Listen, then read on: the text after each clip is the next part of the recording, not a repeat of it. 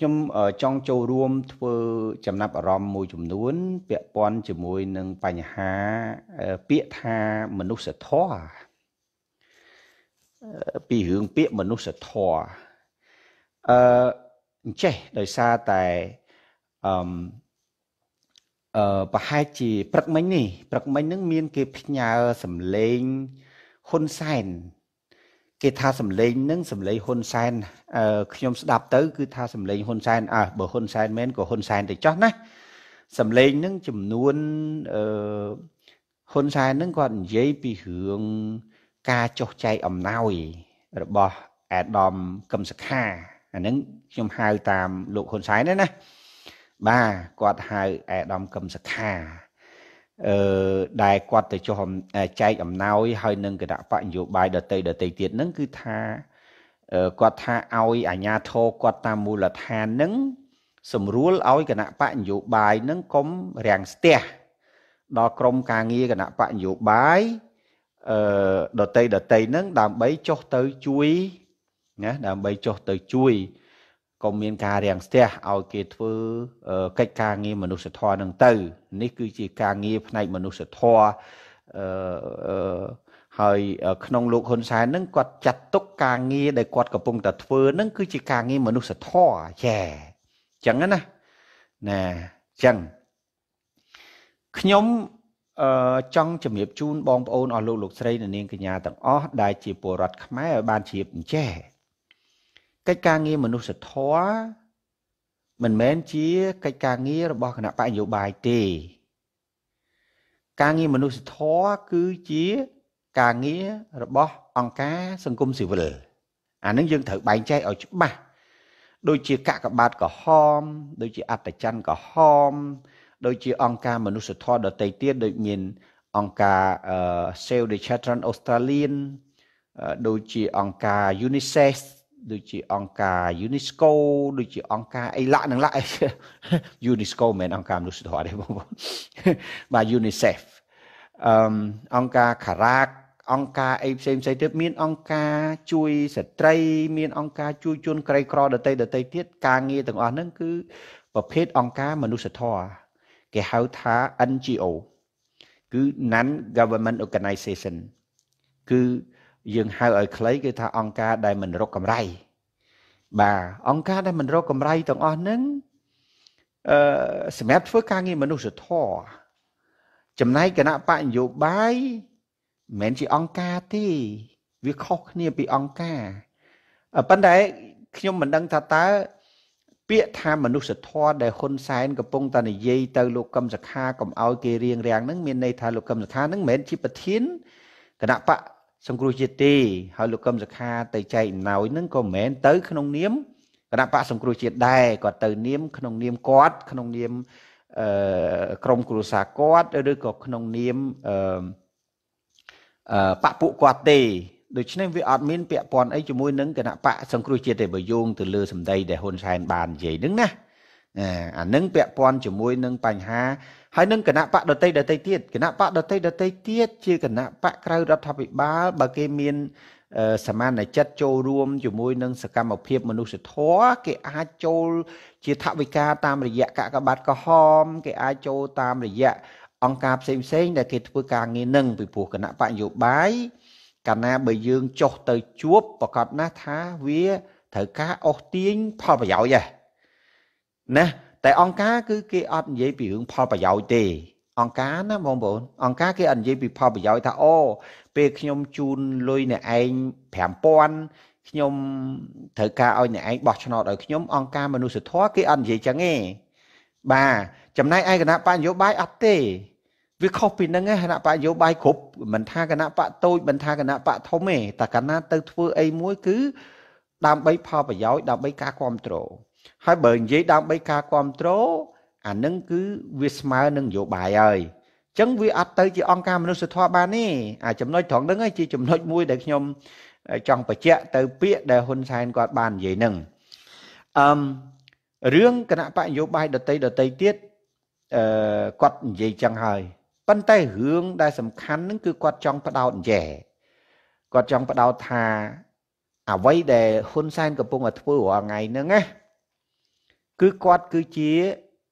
អឺគាត់គឺជាអ្នកធ្វើការងារមនុស្សធម៌ឥឡូវបងប្អូនខ្ញុំសួរបងប្អូនបន្តិចរដ្ឋាភិបាលមួយទាំងមូលអាម៉េចក៏ធ្លាក់ខ្លួនទៅជាអ្នកធ្វើការងារខាងមនុស្សធម៌ទៅវិញណាអាម៉េចក៏ធ្លាក់ខ្លួនទៅខាងធ្វើការងារមនុស្សធម៌ទៅវិញណាកងកងមិនអញ្ចឹងកងកង ឥឡូវខ្ញុំសួរខាងកងកងដែលជាអ្នកគ្រប់គ្រងសដេចជោកុយសដេចជោកុយរាល់ថ្ងៃហ្នឹងគាត់គិតតាពីជោកុយក៏អត់ចេះទេគាត់គាត់ចេះតែជោកុយអូបងប្អូនឮសលេងខ្ញុំទេបងប្អូន មានបងបុផានីកែនគាត់ថាអត់ឮសលេងខ្ញុំមែនទេបាទបងប្អូនណាឮសលេងខ្ញុំទេបាទ បងប្អូនឮសលេងខ្ញុំឯងបងបុផានីកែនមិនថាអត់ឮសលេងខ្ញុំអញ្ចឹងបងប្អូនដតីដតីទៀតដូចជានៅឮទេដឹងហ៎បាទបាទមើលជួយប្រាប់បន្តិចចំផាតណាចំផាតជួយប្រាប់តិចមើលសលេងខ្ញុំនៅឮទេបងប្អូនសលេងខ្ញុំនៅឮទេមិនក៏បងបុផានីកែនអត់ឮដែរឮបងតុនលីឮគៀភៈឮចំផាតច្បាស់ អញ្ចឹងអ្នកដែលអត់ឮគឺចេញសិនបាទចេញសិនហើយចូលមកវិញបានឮបើមិនចង់ទេធ្វើឲ្យប៉ះពាល់ទៅដល់បេះដូងរបស់ខ្ញុំហើយអរគុណបងប្អូនដែលឮនឹងហើយអរគុណបងប្អូនដែលឮណាបាទបងបុផានីកែនគាត់ថាគាត់អត់ឮបើអត់ឮចេញសិនហើយចូលមកវិញឮហើយបាទអញ្ចឹងណាព្រោះខ្ញុំធ្លាប់អញ្ចឹងដែរជួនណាទៅអញ្ចេះវាអាចយើងប្រើអាឡែង Bluetooth ដល់កាលណាប្រើ Bluetooth វាអត់ connect វាអត់ connect ណាអូឥឡូវគាត់លឺហើយបាទអូខេអរគុណច្រើនបងបុផានីអឺខ្ញុំនិយាយដល់ណាហើយទេនេះបាទបាទនិយាយដល់ដល់កន្លែងហ៊ុនសែនណាដល់កន្លែងហ៊ុនសែននិយាយពីរឿងមនុស្សធម៌ណាបងណាវីបូលីណាបងស៊ីណាសិនអឺណែ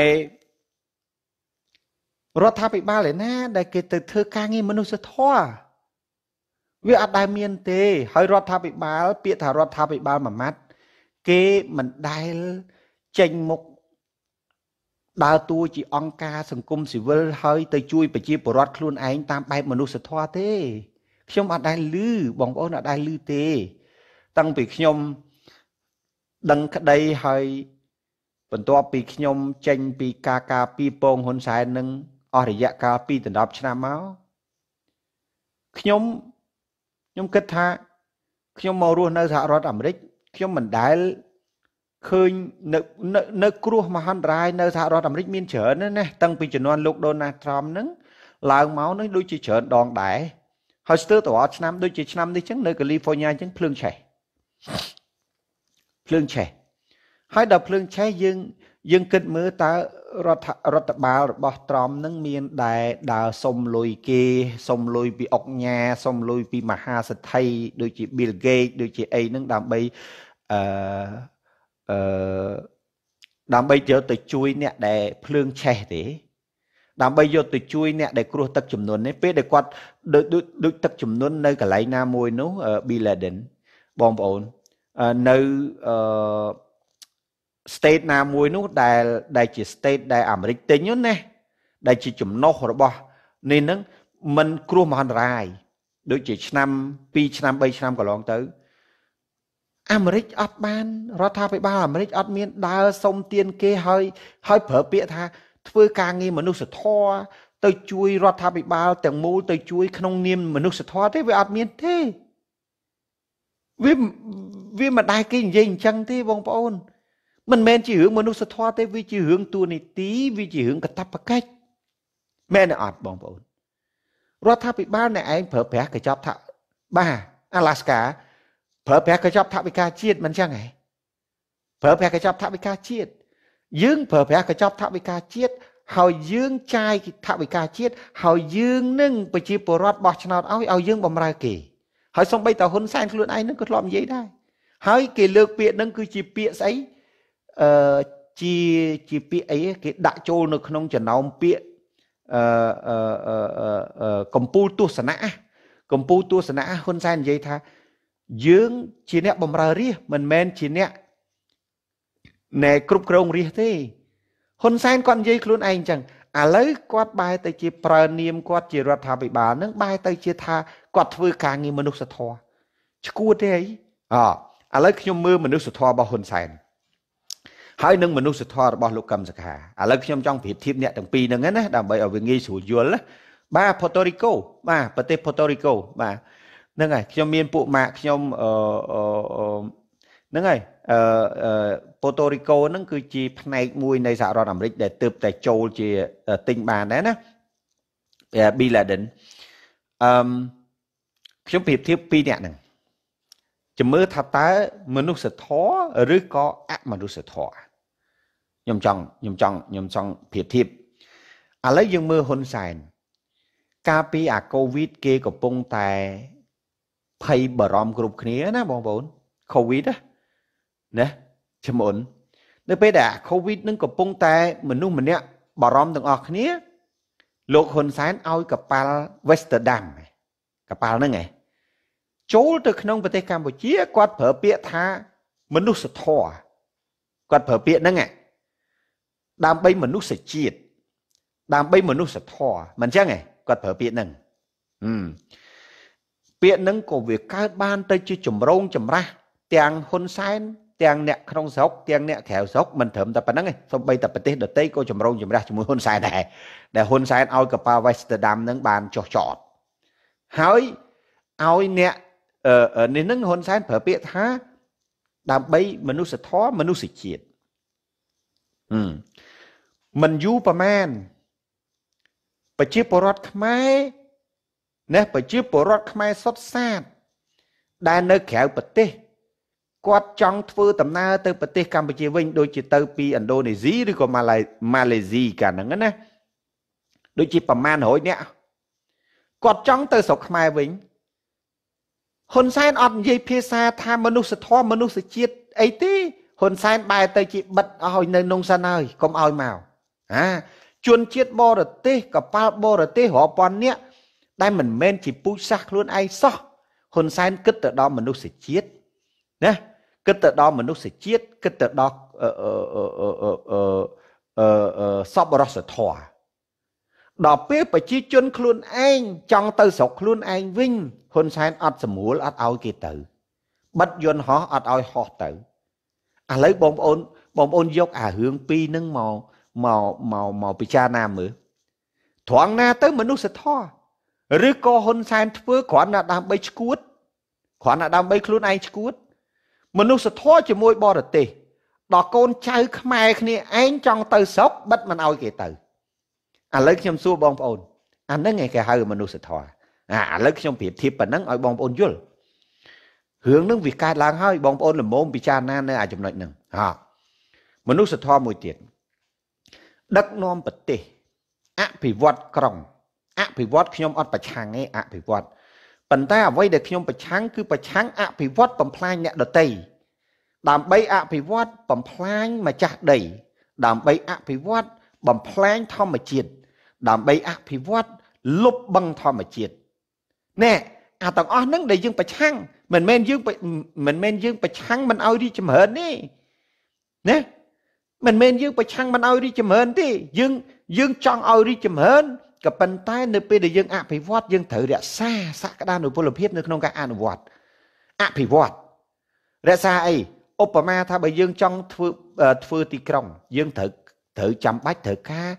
អាតពាំងបឹងបួនហ្នឹងដើម្បីចម្រោះទឹកបង្ហូរទឹកហើយធ្វើប្រព័ន្ធលូ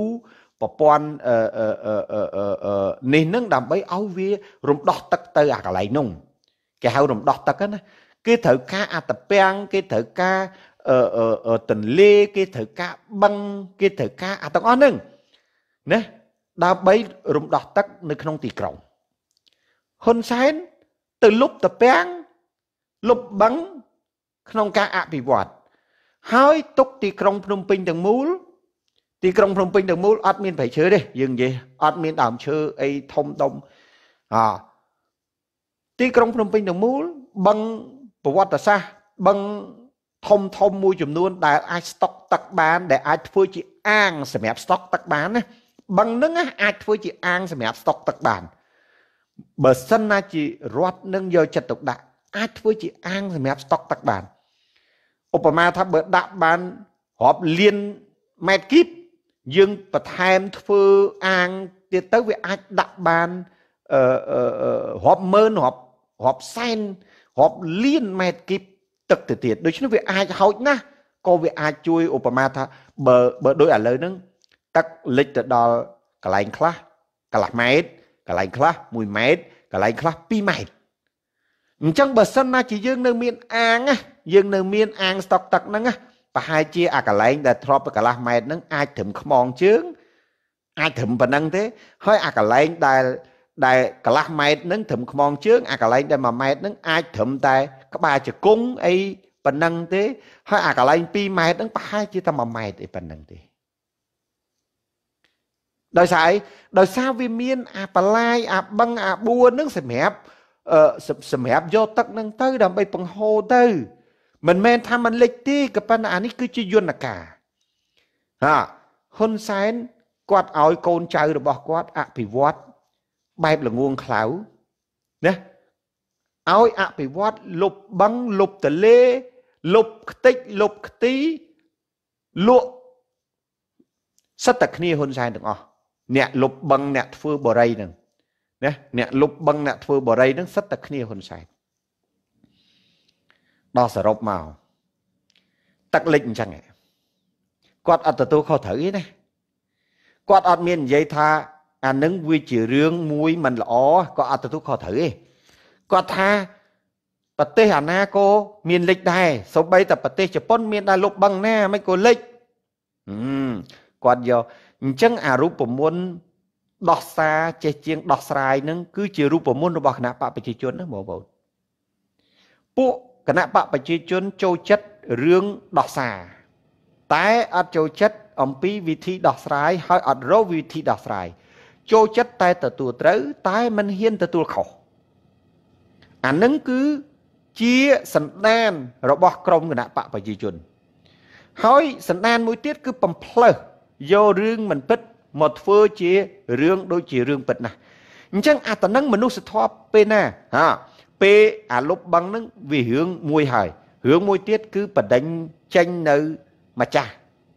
ដែលរស់នៅនៅលើទឹកដីហ្នឹងបដិញគ្នាចេញ អត់ផ្ដល់សំណងឲ្យគ្នា មានតំបន់ខ្លះដូចជាតំបន់បឹងកុកបឹងកក់តំបន់ដីក្រហមតំបន់អីផ្សេងផ្សេងច្រើនទៀតឡពីងតំបន់ផ្សេងផ្សេងទៀតយកគ្នាទៅចាក់ចោលណាបងប្អូនយកគ្នាទៅចាក់ចោលនៅតំបន់ផ្សេងផ្សេងអត់មានទឹកអត់មានភ្លើងអត់មានស្អីស្អីទាំងអស់យកគ្នាទៅចាក់ចោលនឹងដើម្បីយកអាតំបន់អឺដើម្បីយកអាតំបន់ បឹងតំបន់កោះនឹងយកមកអភិវឌ្ឍឃើញទេលុបខ្ទេចលុបអាលីងទៅបងលុបអាលីងណាហើយប្រជាពលរដ្ឋមិនត្រូវបានទទួលបានសំណងទៀតតើមនុស្សធម៌ហ៊ុនសែននៅត្រង់ណានៅពេលហ៊ុនសែនអ្នកបណ្ដាលឲ្យទឹកលិចតិចខ្លាយទៅទីទឹកលិចច្រើនហើយហ៊ុនសែនចុះទៅជួយហ៊ុនសែនអ្នកបង្កគ្រោះហើយហ៊ុនសែនអ្នកទៅជួយដោះគ្រោះនឹងហើយបងប្អូន គេនាំគ្នាសូត្រធម៌ថា សម្ដេចដេជោហ៊ុនសែនឲ្យតែឲ្យតែកន្លែងណាមានទុកកន្លែងនឹងមានមុខសម្ដេចដេជោហ៊ុនសែនណែខ្ញុំនិយាយចេះវិញខ្ញុំនិយាយថាកន្លែងណាមានហ៊ុនសែនកន្លែងនឹងមានប្រជាពលរដ្ឋទឹកភ្នែកមានទុកត្មងឲ្យតែមានហ៊ុនសែនគឺប្រជាពលរដ្ឋដឹងតែពីកើតទុកបើនិយាយចេះបានវាត្រូវជាងមិនមែននិយាយដោយពួក ACPP អាក្មេងមួយចំនួនដែលនិយាយតាមប្រព័ន្ធសង្គមនឹងថាសម្ដេច ដឹងសុខដឹងទុកណា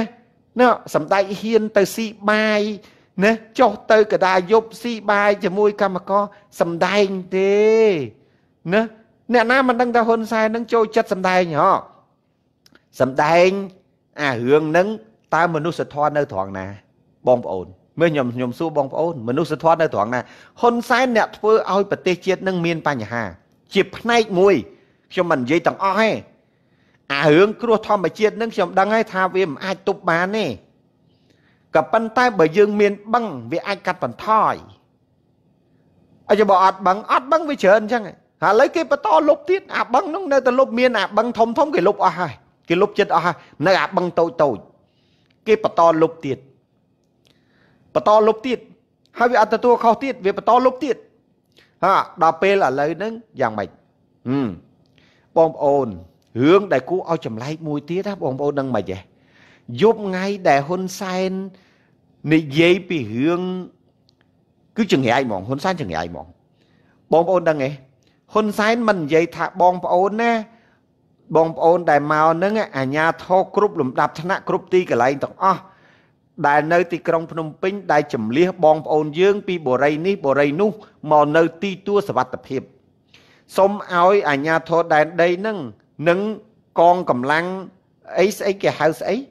ស្អីសេនាភូមិស្អីឆ្លូបភូមិគេហៅសេនាភូមិបើតែយើងហៅឆ្លូបភូមិសូមឲ្យឆ្លូបភូមិនឹងចុះតាមដានមើលតាមបរិយទាំងអស់នឹងខ្លាចចោលវាលួចគិតទៅហ៊ុនសែននេះគឺមាត់ទឹកមែនហ៊ុនសែននិយាយនឹងដូចឲ្យចោលនឹងទៅលួចបងប្អូនឃើញវីដេអូមួយបរិយពិភពពិភព3ហ៎បរិយពិភពថ្មីអញ្ចឹងហ៎ បងប្អូនហើយមកបរិយពិភពថ្មីហ្នឹងគេចូលយកអីវ៉ាន់ទាំងអស់គេចូលយកអីវ៉ាន់ទាំងអស់ហ៊ុនសែននិយាយអត់ទាន់ផុតពីមាត់ផងយប់នោះយប់នោះយប់ដែលហ៊ុនសែននិយាយហ្នឹងហ៊ុនសែនដូចប្រាប់ចៅឲ្យទៅយកឲ្យហើយអញ្ចឹងហ៊ុនសែននិយាយហ្នឹងប្រាប់ចៅឲ្យទៅយកឲ្យទៅយករបស់របរទាំងអស់នោះណាបងប្អូនដឹងទេ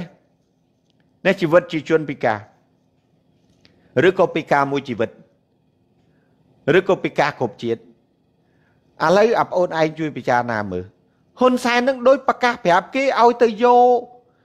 អាអាអាពិភពថ្មីហ្នឹងបងប្អូនមើលគេទៅកោះសោយកគ្រឿងសង្ហារឹមយកស្អីស្អីទាំងអស់ស្ទើរតែគ្រប់ផ្ទះហើយអាកន្លែងហ្នឹងទឹកត្រឹមជង្គង់ទេណាបរិយពិភពថ្មីហ្នឹងទឹកត្រឹមជង្គង់ត្រឹមជង្គង់ទេហើយបើឡានហ្នឹងខ្ញុំថា វាមកហ្នឹងវាមកវាយកអាឡានត្រឹកអាធំអាសម័យត្រឹកហ្នឹងប្រហែលជាវាយកអាហ្នឹងមកដឹកត្មងមកយប់សោះមកយប់ថ្ងៃហ៊ុនសែនប្រកាសហ្នឹងណាថ្ងៃហ៊ុនសែនប្រកាសឲ្យការពារហ្នឹងគ្រាន់តែហ៊ុនសែនប្រកាសហើយយប់ហ្នឹងគេដឹកអីវ៉ាន់គាត់ទៅអស់ដូចគ្នានឹងរឿងបាទបរិបរិយអីបាទពិភពថ្មីបរិយពិភពថ្មីបងលឹមសុកខៀវឥឡូវនេះ ឥឡូវរឿងដែលសំខាន់នឹងយើងផ្ដាំទៅហ៊ុនសែននេះពួកខ្ញុំនេះផ្ដាំទៅហ៊ុនសែនឯងហ៊ុនសែនឯងត្រូវតាមរកអាអ្នកលួចទ្រព្យសម្បត្តិបងប្អូនយើងនៅបរិយពិភពថ្មីទាំងអស់នឹងត្រូវយកមកវិញឲ្យបានព្រោះហ៊ុនសែនឯងអ្នកនិយាយហើយបើសិនណាជីរោមកមិនបានទេកែហ្មងអានឹងគឺអនុញ្ញាតឲ្យគេលួចត្មងបានឱកាសអញ្ចឹងទៅលួចរបស់គ្នាទៅទៀតទៅលួចរបស់គាត់ទៅទៀត ហើយខ្ញុំមើលមើលទៅអាណោអធមផ្ទះនៅពេលដែលមានទឹកអត់មានមនុស្សមួយអត់មានមនុស្សមួយហើយចូលទៅឃើញប្រហែលជាគាត់នឹងសមត្ថកិច្ចដែរហើយគាត់នៅក្នុងបរិយពិភពថ្មីនឹងដែរគាត់ដើរទៅថតខ្ញុំមើលទៅអូលោកឲ្យលោកអីក៏វាអាក្រក់ម្លេះគ្នាកំពុងតែរងគ្រោះដោយទឹកចំនួនហើយមានអាក្រមលួច នឹងវាមកលួចទៅទៀត ប៉ុន្តែអាលួចនឹងបើគុំតែហ៊ុនសែនប្រកាសទេណាខំអីអត់មានបាត់ទេណាបងប្អូនណាហ៊ុនសែនណាអ្នកប្រកាសប្រយ័ត្នគេលួចទ្រព្យសម្បត្តិគាត់ហ៊ុនសែននិយាយចប់គេលួចដូចព្រៃឈើចឹងហ៊ុនសែនថាបើអញការពារព្រៃឈើមែនអញកាត់កកវត្តចោលមានស្អីអាដែកនោះវាលេងហ្មង គឺតែពីកាប់ព្រៃឈើហ្មងត្រីភាពហ៎ពឺតែពីកាប់ព្រៃឈើហ្មងកាប់ឯងឡើងខ្ទេចរហូតដល់ ហ៊ុនសែននឹងមិននឹងយកមុខទៅទុកឯណារាល់ថ្ងៃនឹងហ៊ុនសែននឹងលែងមានសេចក្តីអៀនខ្មាស់ហើយហិរិនិងអោតបៈលែងមានមុខហ៊ុនសែននេះគឺថាលែងមានលែងមានហិរិនិងអោតបៈទៅមកឥឡូវខ្ញុំសួរថាតើមនុស្សធម៌ហ៊ុនសែននៅត្រង់ណាហ៎ប្រជាពលរដ្ឋខ្លួនឯងចង់ទៅចូលស្រុកចោតចាប់គ្នាដាក់គុកដាក់ច្បាក់ឃើញទេហាងើបមួយវាយមួយងើបពីរវាយពីរ តើមនុស្សហ៊ុនសែននឹងមនុស្សមានមនុស្សធម៌ពីកាលណាមកឥឡូវទោះជាខ្ញុំប្រឆាំងជាមួយគាត់ខ្ញុំប្រឆាំងនយោបាយខ្ញុំតវ៉ាជាមួយគាត់ឧទាហរណ៍ថាបើខ្ញុំចោទហ៊ុនសែនថាអាក្បត់ជាតិឧទាហរណ៍ខ្ញុំប្រឆាំងគាត់អញ្ចឹងខ្ញុំចោទហ៊ុនសែនថាអាក្បត់ជាតិអានឹងថាយើងចោទទៅចោះ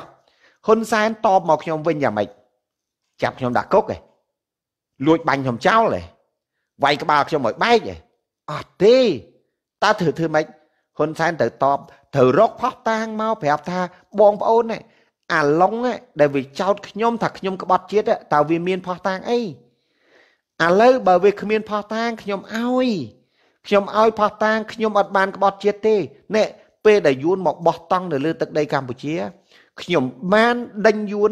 ខ្ញុំបានប្រាប់យួនថាណែអាយួនឯងត្រូវចេញទៅទឹកដីឯងវិញអាតំបន់នឹងយើងមិនអាច យើងមិនអាចអ្នកឯងមិនអាចមកបោះបានទេពីព្រោះជាតំបន់សណែខ្ញុំណាធ្វើការងារនឹងជាមួយនឹងយួនណាខ្ញុំឆ្លោះជាមួយយួននយោបាយការទូតឆ្លោះជាមួយយួនតាមព្រំដែនហើយអាឡុងឯងអាឡុងនឹងវាថាខ្ញុំក្បត់ជាតិតើប្រជាពលរដ្ឋជឿខ្ញុំទេបងប្អូនខ្ញុំសួរប្រជាពលរដ្ឋគាត់ជឿខ្ញុំអត់ក៏អត់ជឿទេពីព្រោះហ៊ុនសែនទៅឆ្លោះជាមួយយួន ទៅប្រាប់យួនឲ្យយួនដកដកតង់ចេញប៉ុន្តែសំណួរខ្ញុំសួរថានៅពេលដែលខ្ញុំចោទហ៊ុនសែនតែក្បត់ជាតិបដោយឲ្យយួនមកបោះតង់បដោយឲ្យដីបាត់ទៅយួនតើមែនទេអត់សំណួរយើងដាក់សួរចឹងបើមែនមានន័យថាយើងនិយាយត្រូវនេះបើគ្រាន់តែដូចយើងចោទចឹងថាហ៊ុនសែនអាក្រក់ណាវាអត់សំខាន់យើងថាទេ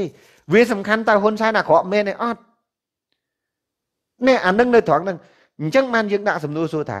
តើហ៊ុនសែននឹងតើហ៊ុនសែននឹងជាជនមានមនុស្សធម៌ទេមិនមែនមនុស្សធម៌ទេ ក្នុង នាមជារដ្ឋាភិបាលនិយាយពាក្យមនុស្សធម៌នឹងមានតែមនុស្សឈួតទេ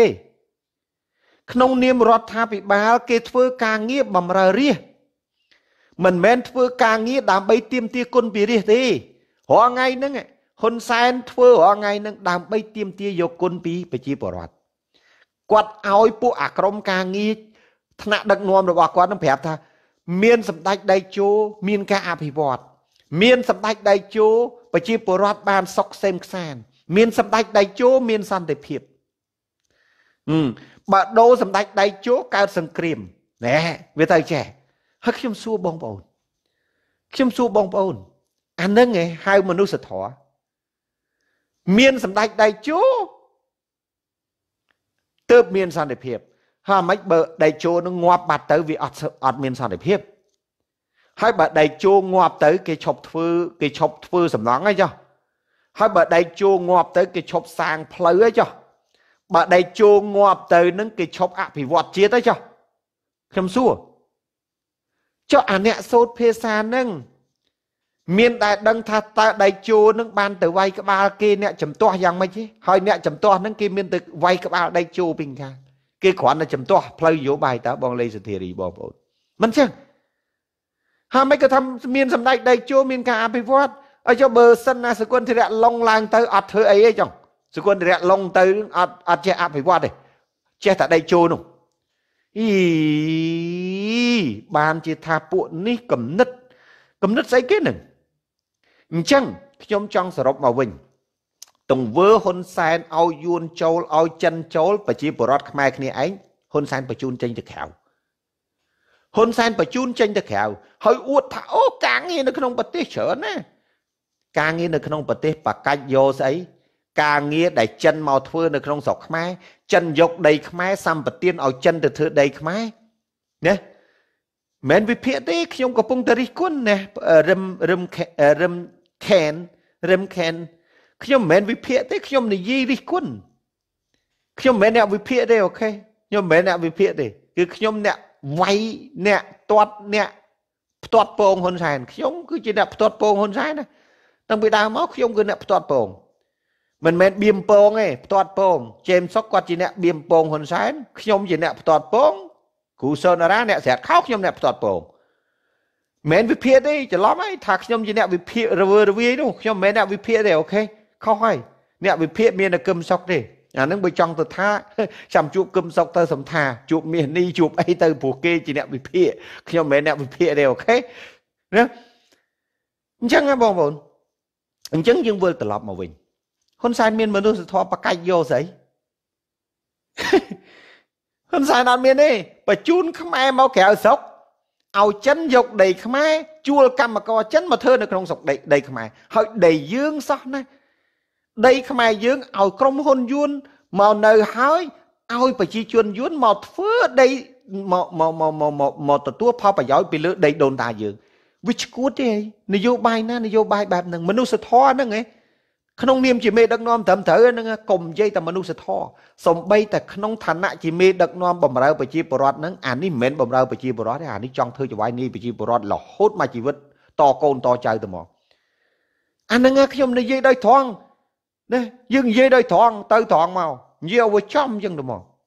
អាហ្នឹងបងប្អូនពិចារណាមើលទៅហ៊ុនសែនគ្មានមនុស្សធម៌ អីទេហ៊ុនសែនទៅសំដែងស៊ីបាយទៅសំដែងធាក់ចក្លូទៅសំដែងរំវងជាមួយបងប្អូនកន្លងមកនឹងតើលទ្ធផលយ៉ាងម៉េចអ្នកដែលហ៊ុនសែនស៊ីបាយជាមួយនឹងវាទៅជាយ៉ាងណាឥឡូវរងទុកវេទនាដដែលហ្នឹងរាល់តែឆ្នាំណា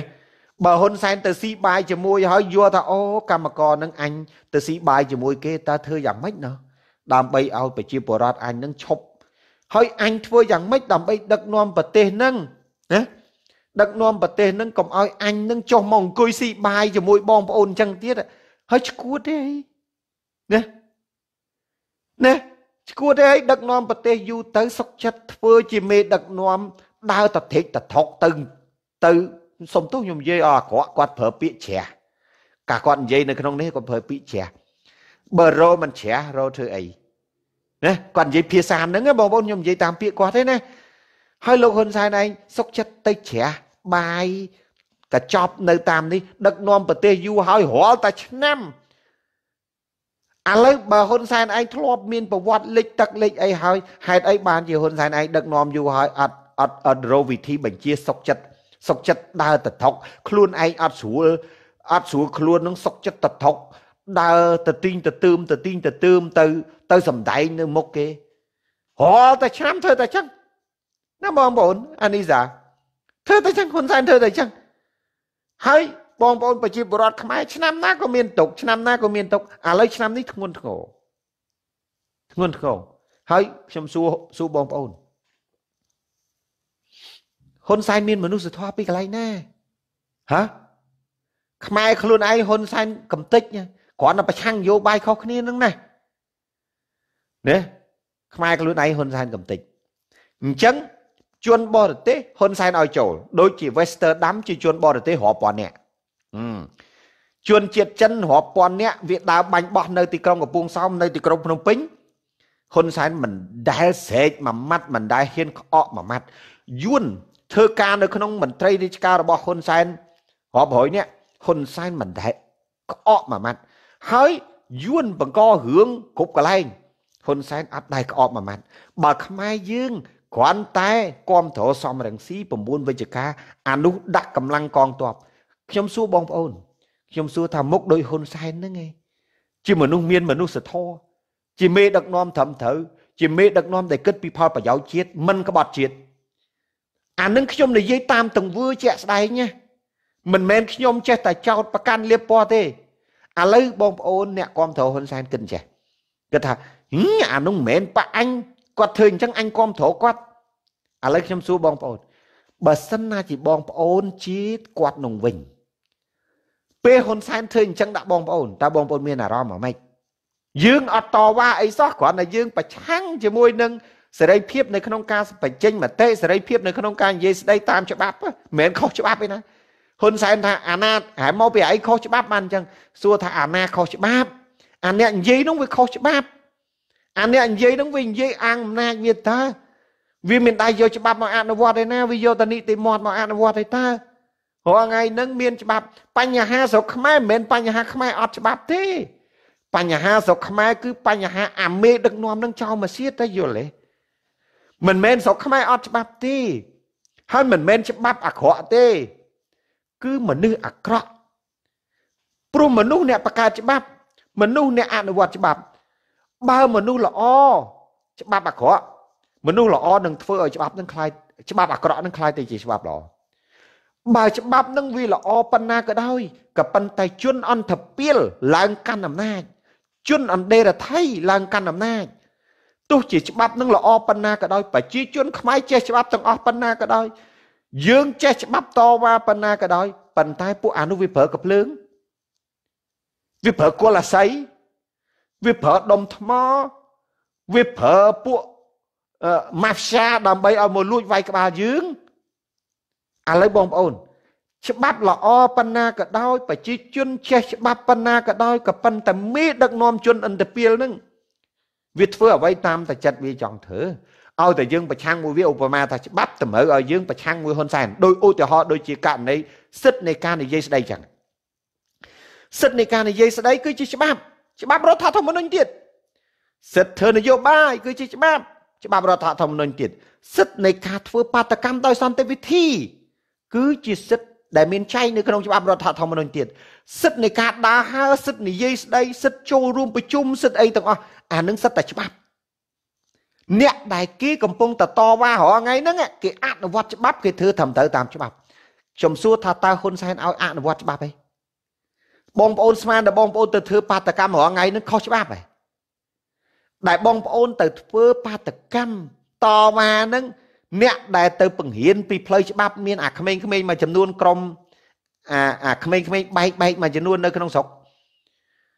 វាទៅបង្រៀនថាមកពីយើងអត់ចេះច្បាប់ ឲ្យចុះអាគេទៅធ្វើបាតកម្មហ្នឹងគេភ្លឺអត់ចេះច្បាប់អ្នកដែលធ្វើបាតកម្មកម្មករដែលទៅធ្វើបាតកម្មអាទាំងអស់ហ្នឹងសិតតែអត់ចេះច្បាប់សិតតែចេះច្បាប់ហាហើយចុះបើចេះច្បាប់អាម៉េចបានពេលដែលយើងទៅតវ៉ាទៅគេវាយបែកក្បាល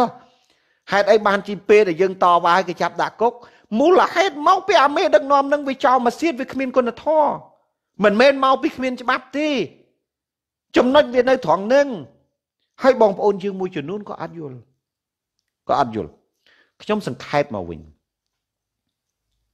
ហ៊ុនសែនជាមនុស្សជនអន្តពាលជាមេដឹកនាំជនអន្តពាលទួនាទីនិងការងាររបស់ហ៊ុនសែនគឺសម្ដែងហ៊ុនសែនគឺជាជនដែលគ្រាន់តែសម្ដែងតែប៉ុណ្ណោះសំបីតែទៅចូលរួមជួយបងប្អូននឹងក៏សម្ដែងដែរហើយសម្ដែងនឹងអត់ខំជួយបងប្អូននឹងឆ្លៀតវាយបហាមកអ្នករិះគន់គាត់ទៀត ហើយពេលហ្នឹងគាត់វាយបហាហេតុអីបានជាគាត់វាយបហាគេហ៎គាត់បើគាត់ជាមនុស្សមានគុណធម៌មែនគេថាមិនថាទៅ អាឡុងវាថាមិនថាទៅអញធ្វើអញដឹងដល់ពីធ្វើទៅ អ្នកថាចេះតែថាទៅហាក់អញមិនចាំបាច់ទៅតបតរឿងកប៉ិកកប៉ុកអញ្ចឹងហ៊ុនសែនទៅតបតជាមួយគេដែរទៅតបតឆ្លៀតអានឹងគឺពួកអាសំដែង មានន័យថាហ៊ុនសែនមិនមែនមកនិយាយដើម្បីសម្ដែងសមានចិត្តទុកព្រួយជាមួយបងប្អូនដែលលិចទឹកទេមកនឹងចង់អួតប្រាប់គេថាណែមានតែអញហ៊ុនសែនទេដែលយកចិត្តទុកដាក់ជាមួយឯងពួកអាប្រឆាំងអត់យកចិត្តទុកដាក់ជាមួយឯងទេហើយប្រជាពលរដ្ឋខ្មែរណាដែលមិនដឹងថាអានឹងហើយវាដឹកនាំធ្វើឲ្យយើងលិចយងអញ្ចឹងប្រជាពលរដ្ឋគាត់ដឹងអើដល់ពេលគាត់ដឹងគាត់ខឹងដែរបើគាត់មិនហ៊ានមាត់គាត់អត់ហ៊ានមាត់ គាត់ឃើញកំភ្លើងនៅចិត្តហ្នឹងគាត់អត់ហ៊ានមាត់ថ្ងៃណាមួយតហ៊ុនសែនអស់កំភ្លើងមិនស្រួលនឹងសង្ស័យតែម្នាក់មកកញ្ញម្នាក់មកកញ្ញហ្នឹងក៏យ៉ាខួរដែរអានឹងខ្ញុំឧទាហរណ៍ទេខ្ញុំឧទាហរណ៍ឥឡូវខ្ញុំសរុបមកវិញថាតើហ៊ុនសែនមានគុណធម៌ទេឲ្យជនបរទេសឥឡូវខ្ញុំលើកឧទាហរណ៍តែ3ចំណុចចុះដើម្បីឲ្យសង្ខេបឲ្យឆាប់ចប់កប៉ាល់ Westerdam អឺជនជាតិចិនជនជាតិយួន ចូលមកយ៉ាងអនាធិបតេយ្យឃើញទេជនជាតិខ្មែរចង់ទៅស្រុកវិញហ៊ុនសែនបិទយន្តហោះអត់ឲ្យចូលខ្មែរយើងមាតុភូមិនិវត្តអ្នកនយោបាយខ្មែរចូលទៅឲ្យហ៊ុនសែនចាប់ដាក់គុកសោះវាមិនឲ្យចូលខ្មែរយើងចង់ទៅស្រុក9វិច្ឆិកាវាដាក់កងទ័ពមិនឲ្យខ្មែរយើងចូលធារីលើបណាសៃម៉ៅរស់មិនឲ្យគ្នាយើងចូល ហើយខ្មែរយើងណាវាអត់ឲ្យយើងចូលទេប៉ុន្តែវាឲ្យជនបរទេសចូលអានឹងខ្ញុំប្រើភាសាហ្នឹងណាវាឲ្យជនបរទេសចូល យើងវាមិនឲ្យចូលក្នុងនាមយើងជាខ្មែរតើហ៊ុនសែនមានសប្បុរសធម៌ទេមានគុណធម៌ទេអត់ឥឡូវខ្ញុំប្រៀបខ្ញុំខ្ញុំខ្ញុំលើកលោកកឹមសខាដូចគ្នានឹងលោកហ៊ុនសែនដែរ ខ្ញុំមិនបន្ទោសលោកកឹមសុខាទេប៉ុន្តែគ្រាន់តែខ្ញុំចង់ជំរាបប្រាប់បងប្អូនលោកកឹមសុខាមើលទៅធ្វើធ្វើដូចគ្នាបេះបិទគាត់គឺជាជនរងគ្រោះបច្ចុប្បន្នគាត់មិនទាន់រួចផុតពីការចោទប្រកាន់ពីតុលាការពីរឿងទោសក្បត់ជាតិទេមានន័យថា3ឆ្នាំជាងនេះលោកកឹមសុខាគាត់អត់អាចជួយខ្លួនឯងបានទេ គាត់អត់អាចជួយខ្លួនឯងបានទេណាគាត់អត់អាចជួយខ្លួនឯងបានទេប៉ុន្តែមួយរយៈកាលចុងក្រោយនេះលោកកឹមសុខាសម្បូរថវិកាធ្វើបន់ធ្វើទៀនគ្រប់គ្រប់ទីកន្លែងវាអាចជាថវិកាដែលពួកអមីអាថោងមួយចំនួនដែលវាមានអីចឹងទៅវាចូលរួមអីដើម្បីតំណែងទៅថ្ងៃអនាគតអានឹងខ្ញុំអត់ដឹងទេណាឬក៏លោកកឹមសុខានឹងគាត់មានទ្រព្យសម្បត្តិស្ដោកស្ដំ អឺពេលពីមុនមិនទាន់ជាប់គុកអានឹងក៏ខ្ញុំអត់ដឹងដែរខ្ញុំអត់ដឹងទេបាទប៉ុន្តែគាត់ថាខ្ញុំចង់ចង់ដឹងចេះគាត់ជួយខ្លួនគាត់អត់បានទេមិនចឹងទោះគាត់មិនស្រាលទេទោះក្បត់ជាតិដែលគេចោទគាត់ថាជាជនក្បត់ជាតិហើយគេរំលាយបាក់គាត់មួយទាំងមូលក្នុងនាមគាត់ជាប្រធានបកត្រូវបានគេចោទជាជនក្បត់ជាតិហើយគេរំលាយបកទាំងមូលមិនត្រឹមតែបកវិនិច្ឆ័យទេ កូនចៅរបស់គាត់ទាំងអស់ប្រឈមជាមួយគេវាយក្បាលអ្នកដែលកូនចៅគណៈបកសង្គ្រោះជាតិគេវាយក្បាលប្រមាណអ្នកខ្ញុំសួរលោកកឹមសុខាតើកូនចៅគណៈបកសង្គ្រោះជាតិដែលស្មោះស្មាស់ជាមួយគណៈបកសង្គ្រោះជាតិនិងស្មោះស្មាស់ជាមួយលោកកឹមសុខាតើអ្នកទាំងអស់នោះត្រូវបានគេវាយក្បាលប្រមាណអ្នកប្រមាណអ្នក តើលោកកឹមសុខាដែលមានសពបរសធរជាមួយនឹងអ្នកដែលគេវាយក្បាលនឹងដែរឬអត់សំណួរខ្ញុំដាក់សំណួរហើយឲ្យលោកកឹមសុខាជួយឆ្លើយផងកូនចៅគណៈបកសង្គ្រោះជាតិ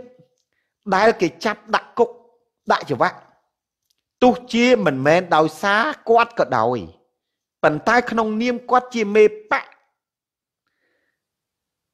ដែលត្រូវគេចោតចាប់ហើយរំលាយបក ណាតើគាត់មានដែលសួរនាំពីការដែលពួកគាត់ទាំងអស់នឹងជាប់គុកបើមិនសួរនាំអ្នកជាប់គុកតើមានដែលទៅសួរនាំគ្រួសារក្រុមគ្រួសាររបស់គាត់ដែលដែលជាប់គុកជាប់ច្បាប់នឹងដែរឬអត់ខ្ញុំសួរលោកកឹមសុខាខ្ញុំសួរដោយត្រង់ឯងបុណ្យកុសលដែលលោកទៅធ្វើនៅនឹងវត្តដែលលោកទៅចុះចែកអំណោយខ្ញុំអនុមោទនាខ្ញុំទទួលយកបុណ្យហើយនឹងបុណ្យប៉ុន្តែ មនុស្សធម៌ជាមួយតអ្នកអត់ឃ្លាន ចំណែកឯអ្នកឃ្លានអត់ជួយតើមានន័យថាម៉េចលោកអត់មាន ទៅសួរសុកទុក អ្នកទោសរហូតដល់សកម្មជនខ្លួនឯងស្លាប់តលុយផ្ញើចូលប៉ុនមិនឃើញទាំងផ្ញើចូលប៉ុនសំបីតាសា រំលែកទុកក្រុមប្រឹក្សាឃុំសង្កាត់ ដែលគាត់ឈឺស្លាប់ឬដែលគាត់ស្លាប់ដោយការធ្វើទុកបុកម្នេញ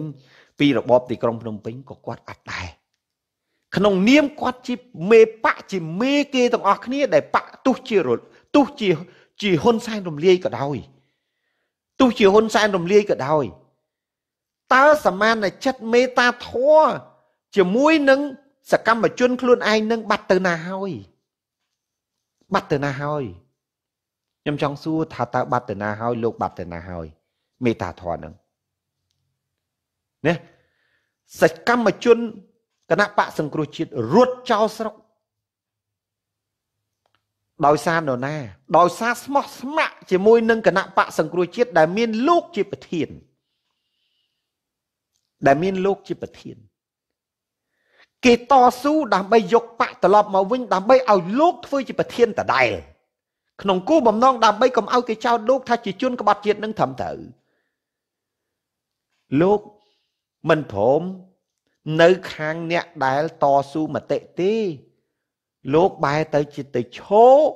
នៅជាមួយនឹងអ្នកដែលបំផ្លាញលោក លោកបែរទៅជាឈោជាមួយនឹងនយោបាយរបស់ហ៊ុនសែនទៅវិញហើយមិនត្រឹមតែប៉ុណ្្នឹងទេ លោកឲ្យដៃជើងខ្ញុំមិនថាលោកឲ្យដៃជើងទេក៏ប៉ុន្តែដៃជើងរបស់លោកដែលនៅក្រោមបន្ទាត់គៀកក្លៀករបស់លោកគៀកបាតជើងរបស់លោកគៀកពងរបស់លោកគៀកកកូតរបស់លោកនឹងឲ្យមកប្រមាថមើងងាយអ្នកដែលរត់ភៀសខ្លួនតស៊ូនយោបាយនៅក្រៅស្រុកទៀតផង នៅក្រៅស្រុកទៀតផង ហើយសិតតឌៀលពួកអរុតចៅស្រុកដោយគណៈបកប្រជាជនឌៀលយើងដែរគណៈបកប្រជាជនឌៀលយើងមកជុំឯងងុំគ្នាយើងឌៀលគ្នាយើងថាអាពួករត់ចៅស្រុកចាញ់អាអ្នកនៅក្នុងស្រុកអ្នកក្នុងស្រុកជួយអីឥឡូវហ្នឹងជួយអីបាន3ឆ្នាំជាងហ្នឹងតើជួយឲ្យបានបាក់មកវិញអត់ចម្លើយអត់គេចង់បានបាក់មកវិញបានជាគេតស៊ូហើយគេចង់មិនមានទោសក្បត់ជាតិជាប្រព័ន្ធបានគេតស៊ូរយុទ្ធធរ ដល់ពេលគេតស៊ូរយុទ្ធធរថាកុំតស៊ូអីហ៊ុនសែនមិនអោយទេ អារឿងពួកចៅវាមិនដែលឲ្យយើងទេឲ្យតែយើងខ្លាំងប្រកាសជាវាឲ្យយើងហើយបើយើងខ្សោយអាណាវាឲ្យយើងវិញឈួតវាលួចយើងទៅស្អីបើវាលួចយើងហើយឲ្យយើងវិញទៅតាមអារម្មណ៍វានឹងវាឈួតបាត់ហើយវាតោះតែយើងតស៊ូយ៉ាងស្វិតស្វាញដើម្បីយកអ្វីដែលជារបស់យើងត្រឡប់មកវិញអានឹងបានបានគឺអាណាសុកសុកឲ្យអាចោនឹងវាឲ្យយើងមកវិញលេងលេងទេ នេះបើទោះជាអាឡុងចោលក៏ដោយក៏អាឡុងមិនមែនសុកសុកឲ្យឯងត្រឡប់ទៅវិញដែរវាតតែឯងខំតស៊ូយកដដើមយកអានឹងបានបានណាខ្ញុំសួរឥឡូវហ្នឹងលោកកឹមសខាដើរចែកណាលោកកឹមសខាដើរចែកអំណោយគ្រប់ជាប់កឡក់ខ្ញុំអនុមោទនាខ្ញុំនិយាយដោយត្រង់ខ្ញុំអនុមោទនាចំពោះអំណោយដែលគាត់ដើរចែកជាមួយនឹងបងប្អូនរងគ្រោះដោយទឹកចំនួនខ្ញុំអបអរ ហើយហ៊ុនសែននឹងឆ្លៀតប្រើល្បិចឲ្យយើងនឹងរិះគន់លោកកឹមសុខាទៀតខ្ញុំសូមជម្រាបខ្ញុំទោះជាហ៊ុនសែនឯងមិននិយាយក៏ខ្ញុំថាឲ្យគាត់ទេខ្ញុំផ្ដាំទៅគាត់យូរហើយខ្ញុំផ្ដាំហើយថាបើលោកហ៊ានតែបោះបង់គណៈបកខ្លួនឯងចោលគិតតែពីក្រមគ្រួសារលោកគិតតែពីលោកនឹងលោកចប់ហើយវាអត់មានអីទេ ហើយហ៊ុនសែនណាដែលអាច ដែលអាចនៅប្រើប្រាស់លោកបានវាទោះវាលុះត្រាណាតែលោកនឹងមានអ្នកគ្រប់គ្រងបើលោកគ្មានអ្នកគ្រប់គ្រងគ្មានប្រជាពលរដ្ឋគ្រប់គ្រងលោក លោកគឺជាមនុស្សឥតប្រយោជន៍កាលណាបើលោកជាមនុស្សឥតប្រយោជន៍ហ៊ុនសែនទាត់ចោលដោយហ្វុនសំពេចចឹងហ្វុនសំពេចណានៅពី3កៅអីក៏ដោយក៏ហ៊ុនសែនទាត់ចោលទេឃើញទេសម្ដេចក្រមព្រះ នៅពី3កៅអីសម្ដេចហ៊ុនសែនទាត់ចោលដដែលនោះ ទាត់ចោលដដែលនោះហើយសុកចិត្តទៅធ្វើមេបកដែលមិនមានកៅអីដែលមិនមានអ្នកគ្រប់គ្រងតែមិនចង់ធ្វើជាមេបកសង្គ្រោះជាតិដែលមានអាសនៈបហៈប្រហែលនឹងហ៊ុនសែនតើលោកយល់ឃើញយ៉ាងម៉េចតើលោកយល់ឃើញយ៉ាងម៉េចហើយខ្ញុំនិយាយនេះមិនមែនមិនមែនរិះគន់បំបែកបំបាក់ទេតែលោកគិតមើលទៅ លោកចង់ទៅធ្វើជាមនុស្សដែលគ្មានបកលោកចង់ទៅធ្វើជាមនុស្ស ដែលមានបកដែលมันអាចឈ្នះជារៀងរហូតឬក៏លោកចង់ធ្វើជាមនុស្សចង់ចង់ធ្វើជាមេបកដែលមានសម្លេង50 60អាសនៈលោកសាក់លបងគិតមើលទៅ ហើយបើលោកបោះបង់អានឹងចោលណាគឺចប់កុំថាលោករងថ្ងៃហ្នឹងដើរធ្វើសកម្មភាពតាមច្រកលហកដើរចែកអំណោយចែកអីហ្នឹងទទួលយកបានបេះដូងប្រជាពលរដ្ឋច្រឡំហើយ ខ្ញុំថាច្រឡំហើយលោកដឹងហើយអានៃនឹងនោះលោកធ្លាប់បាននិយាយខ្លួនលោកលោកនិយាយថាម៉េចបងប្អូនអើយបើហ៊ុនសែនគាត់ឲ្យណែណែណែណែអំណោយទៅយកទៅឲ្យសរងទៅយកទៅប៉ុន្តែពេលបោះឆ្នោតកុំភ្លេចកឹមសខាសំរងស៊ីលោកនិយាយខ្លួនលោកអញ្ចឹងដល់ពេលបោះឆ្នោតឆ្នាំ2013មែនប្រជាពលរដ្ឋយកសរងហ៊ុនសែន យកបេះជែងហ៊ុនសែនដល់ពេលបោះឆ្នោតបោះឆ្នោតឲ្យសំរងស៊ីកឹមសខាឃើញទេហើយលោកលោកយកថាតើទង្វើរបស់លោកសពថ្ងៃហ្នឹងតើមនុស្សធម៌នៅត្រង់ណា កូនចៅខ្លួនឯងគ្រួសារខ្លួនឯងខ្លួនឯងជាមេបកមួយទាំងមូលអត់ព្រមចេញមុខការពារកូនចៅដែលគេវាយបែកក្បាលដែលជាប់គុកជាប់ច្បាប់ដែលគេធ្វើទុកបុកម្នេញស្រាប់តែនៅស្ងៀម ហើយកូនចៅគេវាយបែកក្បាលក៏មិនទៅសេអកក៏មិនទៅសេសុំទោសក៏មិនទៅសេក៏មិនជួយតវ៉ាចំពោះកូនចៅដល់ពេលក្រុមគ្រួសារហ៊ុនសែនក្រុមបពពួកចៅមានបញ្ហាមានតម្ងន់លោកបែរទៅជាជួយទាញដុំថ្មពីក្បាលចៅទាញអាចោកំពុងអាទូលដុំថ្មយ៉ាងធ្ងន់នឹងលោកទៅទាញដុំថ្មពីក្បាលចោតម្លាក់ម្ដងមួយម្ដងមួយម្ដងមួយហើយលោកថាលោកមនុស្សធម៌ តើហ៊ុនសែននិងលោកមានអីខុសគ្នាហ៊ុនសែនខ្មែរអត់ទទួលទេ ទៅពីបរទេសជនបរទេសចិនហ៊ុនសែនឲ្យចូលដោយសេរីរឿង COVID-19 កប៉ាល់ Westerdam ហ៊ុនសែនឲ្យចូលដោយសេរីប្រជាជនយួនហ៊ុនសែនឲ្យចូលដោយសេរីពេលដែលមាន COVID-19 កំពុងតែខ្លាំង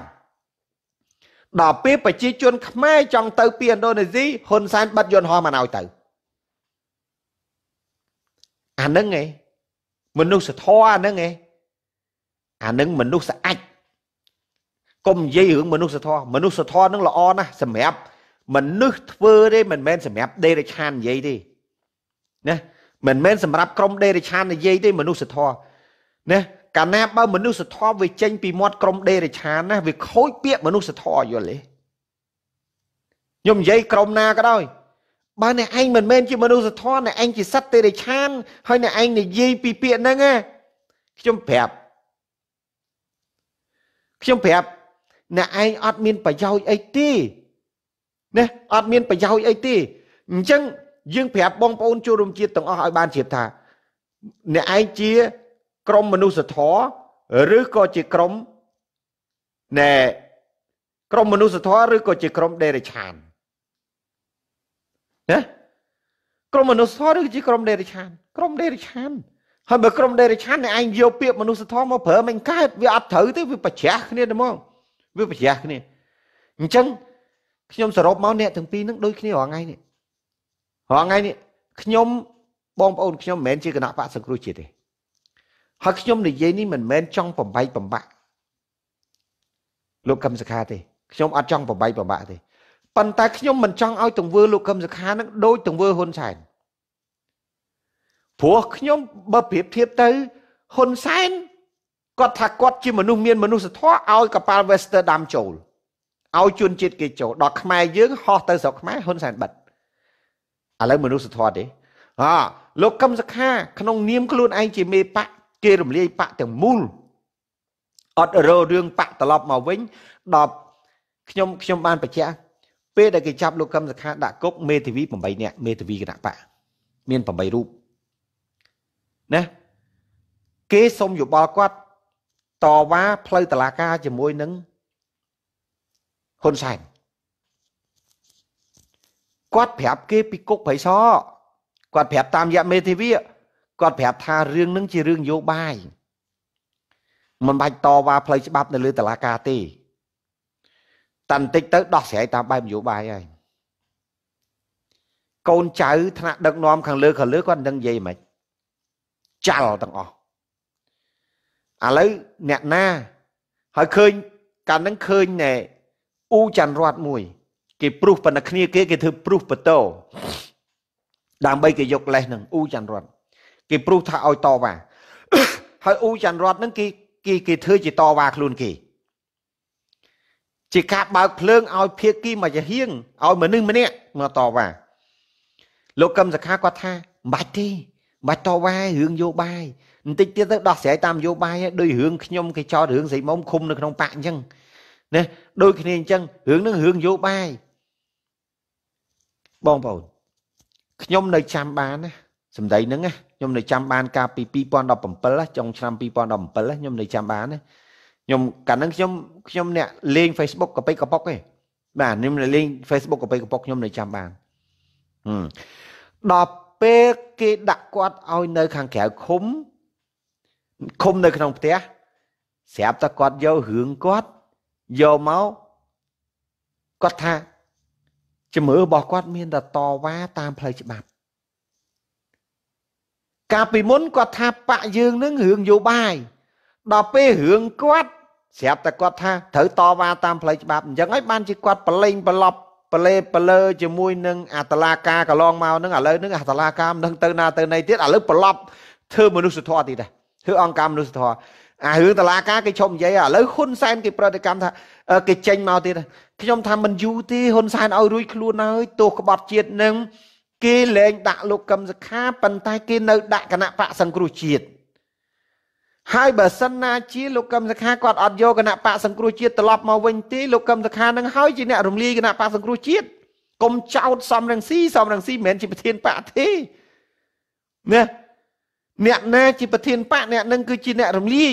ឥឡូវហ្នឹងរងថ្ងៃហ្នឹងសំរងស៊ីកំពុងតែចង់បានបកនឹងត្រឡប់មកវិញចង់បានបកនឹងឲ្យប្រជាពលរដ្ឋខ្មែរត្រឡប់មកវិញ ចំណែកឯលោកកឹមសុខាហ្នឹងក៏អត់ដោយអត់ចង់បានផងហ្នឹងគាត់ចង់បានទៅរួចធ្វើម៉េចឲ្យរួចផុតពីទោសក្បត់ជាតិឥឡូវហ្នឹងហ៊ុនសែននិយាយហ្នឹងដូចបើកផ្លូវអញ្ចឹងគោលបំណងហ៊ុនសែននឹងដើម្បីឲ្យវាបែកបាក់គ្នាលោកក៏ឲ្យលោកលោកហ៊ុនសែនអើយបើថាប្រកាច់ទៅទៅទៅណាយកទៅកុំនៅអដិតអដកអដិតអដកទៅទៀតប៉ុន្តែខ្ញុំដឹងហ៊ុនសែនឯងនឹងដឹងកំពុងតែជួយនឹងជួយប្រម៉ូទ ជួយថាធ្វើម៉េចឲ្យភាគីលោកសំនឹងស៊ីវាយលោកកឹមសខាទៅបែកគ្នាទៅក្រៃលោកលោកកឹមសខានឹងមានឆេនខ្លះ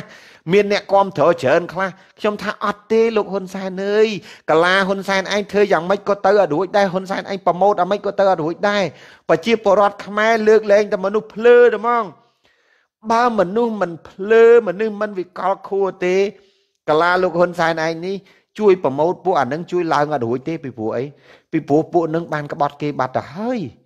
ច្បាស់ណាស់បងប្អូនអញ្ចឹងខ្ញុំនិយាយដោយត្រង់ខ្ញុំនិយាយដោយត្រង់ ទោះជាខំបំបាក់ស្មារតីនិងបំបាក់កិត្តិយសលោកសំរងស៊ីបណ្ណាក៏ដោយដូចជាគណៈបកប្រជាជនគេខំជួយប្រម៉ូទអូសម្ដេចហ៊ុនសែនប្រើសម្ដីនឹងទៅថ្លែងអំណរគុណលោកកឹមសុខាចូលបច្ច័យ5000នឹងទៅដោយវាយក្បាលលោកលោកសំនឹងស៊ីខ្ញុំថាអើយឈួតដែរអាឈួតអើយពួកឯងសោតទៅអាមេសោតនឹងនោះ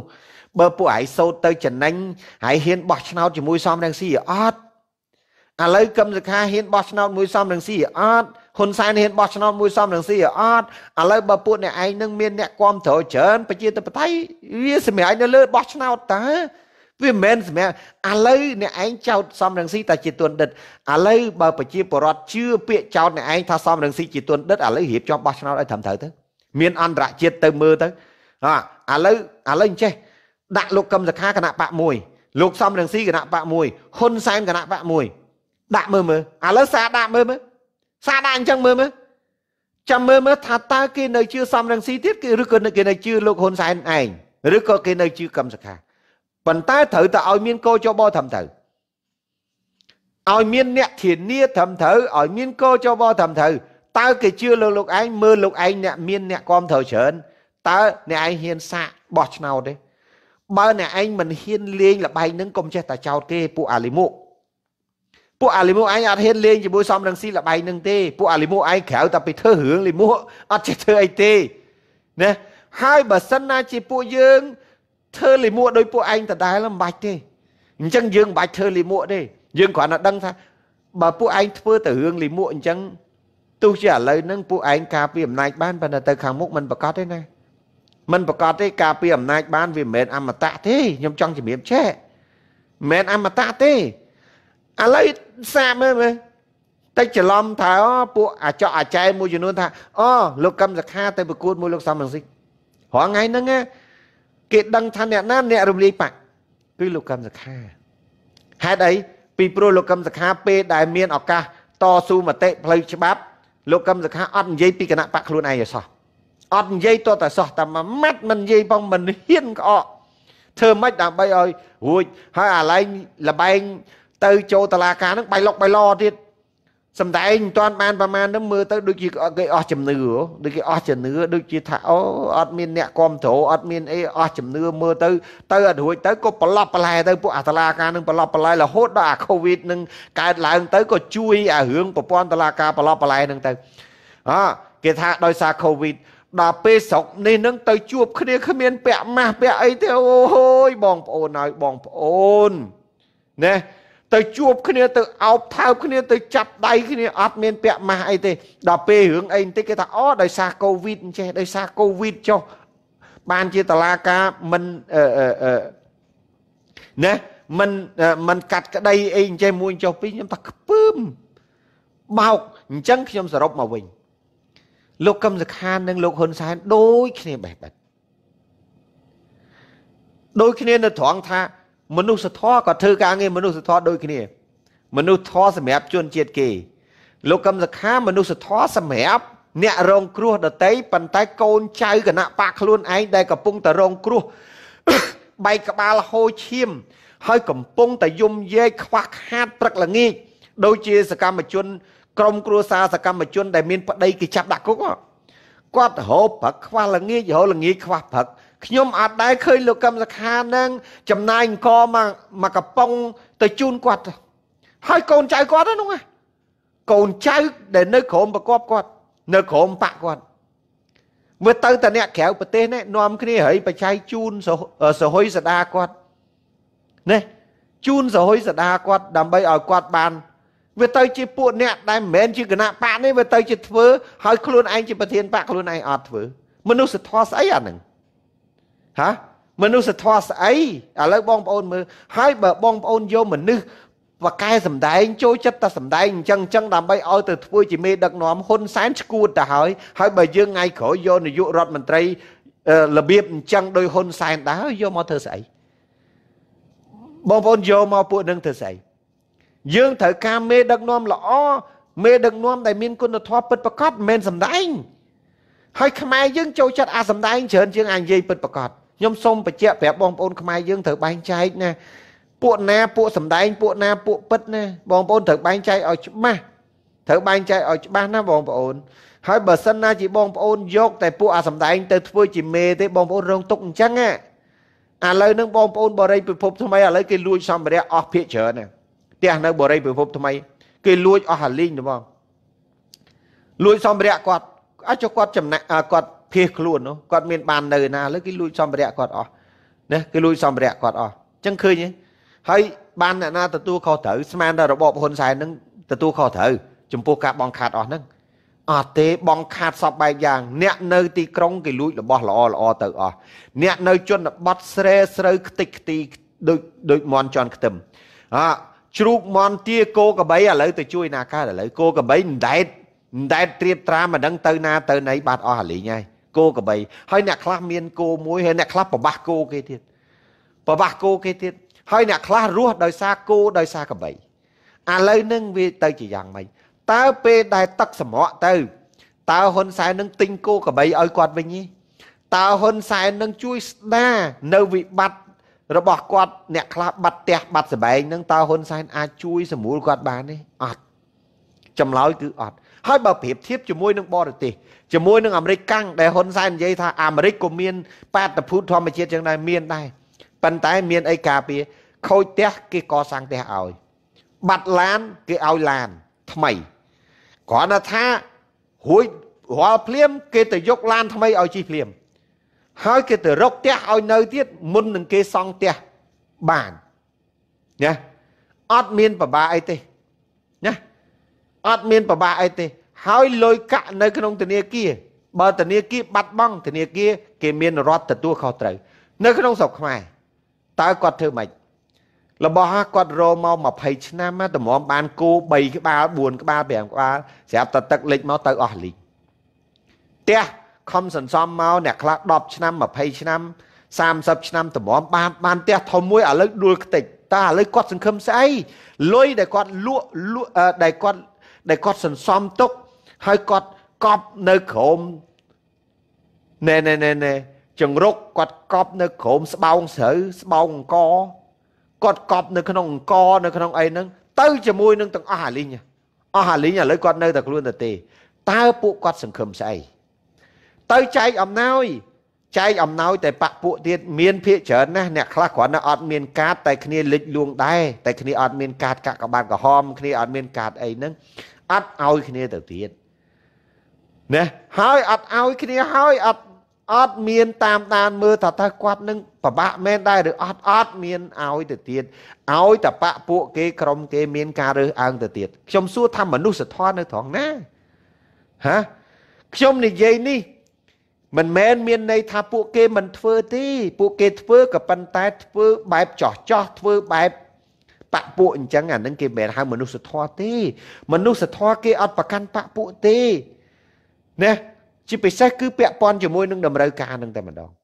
ណានឹងតម្រូវការនឹងតែម្ដងសរុបមកវិញអ្វីដែលខ្ញុំចង់ជម្រាបជូនអស់លោកលោកស្រីនៅនាងកញ្ញានៅថ្ងៃនេះណាលោកហ៊ុនសែនមនុស្សធម៌លោកហ៊ុនសែនខ្មែររត់ចោលស្រុករាប់លានអ្នកខ្មែរភៀសខ្លួនណេះជាជនអន្តោប្រវេសន៍ រហូតដល់ទៅ10000អ្នកជិត20000អ្នកអានឹងឲ្យសន្តិភាពនឹងឲ្យមនុស្សធម៌អលួចវាយក្បាលមនុស្សក្រៅប្រព័ន្ធអត់ដែរចាប់អាឃាតករណាមួយបានទេណាអត់ដែរចាប់អាឃាតករហើយនិយាយពីរឿងហ្នឹងនឹងខ្ញុំនឹកឃើញដល់អាជនម្នាក់ដែលបើកឡាន Lexus បើកឡានបុកមនុស្សហើយវាថយមកកិនបុកសម្លាប់ឲ្យតតបាន វាថយមកកិនបុកសម្លាប់ឲ្យតតបានហើយអាមនុស្សនឹងអត់ជាប់ខ្នោះទៀតមនុស្សនឹងមានទោសពីរជាន់ទោសទី1បើកបរដោយមានកំហុសទោសទី2ពេលដែលគេគ្រោះថ្នាក់ហើយបើកមកកិនសម្រាប់គេចោលអានឹងគឺទោសមនុស្សឃាតគឺអានឹងជាប់គុកមួយជីវិតណាហើយសំណួរយើងសួរថាបើវាជិះឡានល្អម្លឹងម្លឹងស្មានតែខ្នងវាស្ដើងណា ខ្នងវាអត់ស្ដើងបើខ្នងវាអត់ស្ដើងនៅក្នុងរបបហ៊ុនសែនមិនយូរទេអានឹងរួយខ្លួនដូចថោងសារ៉ាត់ចឹងដូចថោងសារ៉ាត់ចឹងថោងសារ៉ាត់បាញ់អុកញ៉ាអឹងមិញជឺគេចោតទេណាបាញ់អុកញ៉ាអឹងមិញជឺតឡាការកាត់ទោសមួយជីវិតទេមិនមួយជីវិតទេវាវាស្មើនឹងមួយជីវិតដែរដល់ពេលបានប្រមាណឆ្នាំក្រោយឥឡូវឡើងដោះលែងអុកញ៉ាអឹងមិញជឺសគុណអុកញ៉ាអឹងមិញជឺដែល មកវិញគឺលុយ100,000ចូលប៉ុនគ្រោះមហន្តរាយជាមួយហ៊ុនសែនគ្នាវាបងប្អូនណាខ្ញុំប្រាប់គឺអញ្ចឹងគឺអញ្ចឹងហើយបើអ្នកដតីវិញបងប្អូនគិតមើលមើលឥឡូវខ្ញុំសួរបងប្អូនតើអានឹងមនុស្សធម៌ដែរមនុស្សធម៌ដែរអ្នកមានលុយរួចទោសអ្នកអត់លុយធ្វើធ្វើទៀបធ្វើតូចធ្វើតិចជាងអាអ្នកមានលុយទៅទៀតប៉ុន្តែលទ្ធផលយ៉ាងម៉េច លទ្ធផលសូន្យណាអាអូននេះអាកូននេះ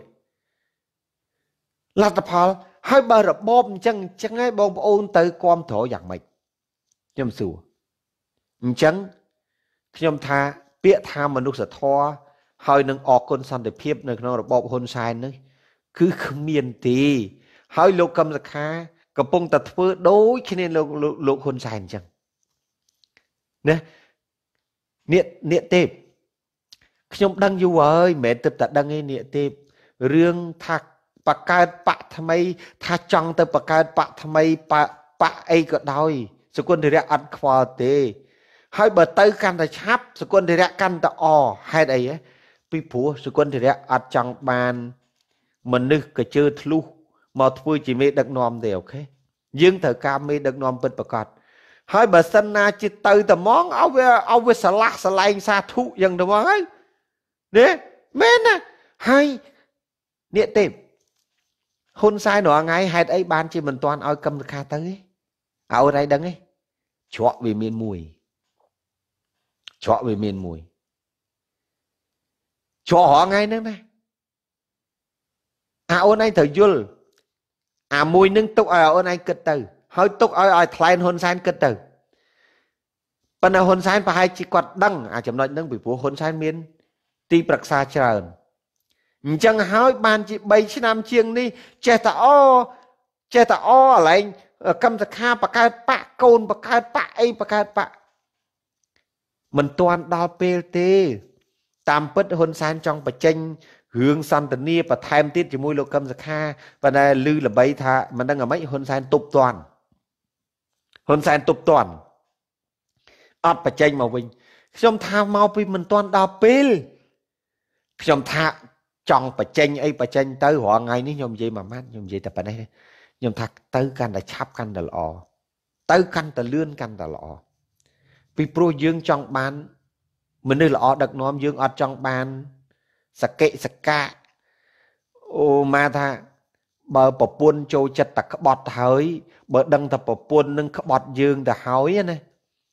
ក្បត់យើងបើដឹងតែប្រពន្ធនឹងក្បត់យើងទៅហើយ ឲ្យគេទៅទៅចាំបាច់នៅទៅអីទៀតឥឡូវបើទោះជាវឲ្យគេនៅជាមួយយើង យើងដាក់ប្រពន្ធនឹងនៅក្បែរយើងថ្ងៃក្រោយវាទៅលួចមានសហាយស្មន់ជាមួយគេដដែលហ្នឹងណាបាទស្អីទៅនិយាយមួយម៉ាត់នឹងត្រឹមត្រឹមត្រូវហ៊ុនសែនណាគាត់ក្បត់ជាតិប៉ុន្តែគាត់មិនក្បត់បករបស់គាត់ទេណា តែគាត់មិនក្បត់បកគាត់ទេ ហើយបើគិតពីលោកកឹមសខាគេចោទគាត់ថាជាគាត់ជាអ្នកក្បត់ជាតិគាត់សុកចិត្តក្បត់បកឃើញទេហ៊ុនសែនសុកចិត្តជាប់ឈ្មោះជាជនក្បត់ជាតិតែមិនព្រមក្បត់បកប្រជាជន តែលោកប្រធានកម្មសខាគាត់សុកចិត្តលះបង់គណៈបកគាត់សុកចិត្ត លះបង់គណៈបកដើម្បីឲ្យផុតពីទោសក្បត់ជាតិហើយក្បត់បកខ្លួនឯងគិតមើលទៅ ពាក្យនឹងបងប្អូនគិតមើលទៅ ហើយយកទៅពិចារណាទៅ ហើយខ្ញុំនិយាយនេះក្នុងនាមខ្ញុំជាប្រជាពលរដ្ឋអ្នកគ្រប់គ្រងគណៈបកសង្គ្រោះជាតិទេ ហើយបងប្អូននៅក្នុងស្រុកខ្មែរគិតមើលទៅអ្នកគិតមើលខ្លួនឯងទៅ ហើយលោកកុំសខាខ្លួនឯងនឹងត្រូវគិតមើលទៅតើតម្លៃដែលលោកកំពុងតែធ្វើនឹងតើវាបានប្រមាណ ខ្ញុំថាមិនបានទេដឹងឯលោកខ្ញុំថាមិនបានទេដឹងពីព្រោះគុណធម៌របស់លោកសិតតែคล้ายคล้ายគុណធម៌ហ៊ុនសែនក៏คล้ายคล้ายគុណធម៌លោកក៏คล้ายคล้ายអញ្ចឹងខ្ញុំអ្វីដែលខ្ញុំចង់និយាយគឺមានតែប៉ុណ្្នឹងឯងបងប្អូនថ្ងៃហ្នឹងគឺថាមនុស្សធម៌គុណធម៌คล้ายคล้ายហ្នឹងគឺខ្ញុំចង់បង្រៀនបងប្អូនឲ្យចេះមើលឲ្យចេះមើលមួយជាជនក្បត់ជាតិមួយ ជាជនក្បត់បកប្រយ័ត្នពាក្យហ្នឹងអញ្ចឹងហើយបានជាខ្ញុំតែងតែប្រើពាក្យថាប្រជាពលរដ្ឋខ្មែរត្រូវប្រយ័ត្នអ្នកនយោបាយពីរប្រភេទ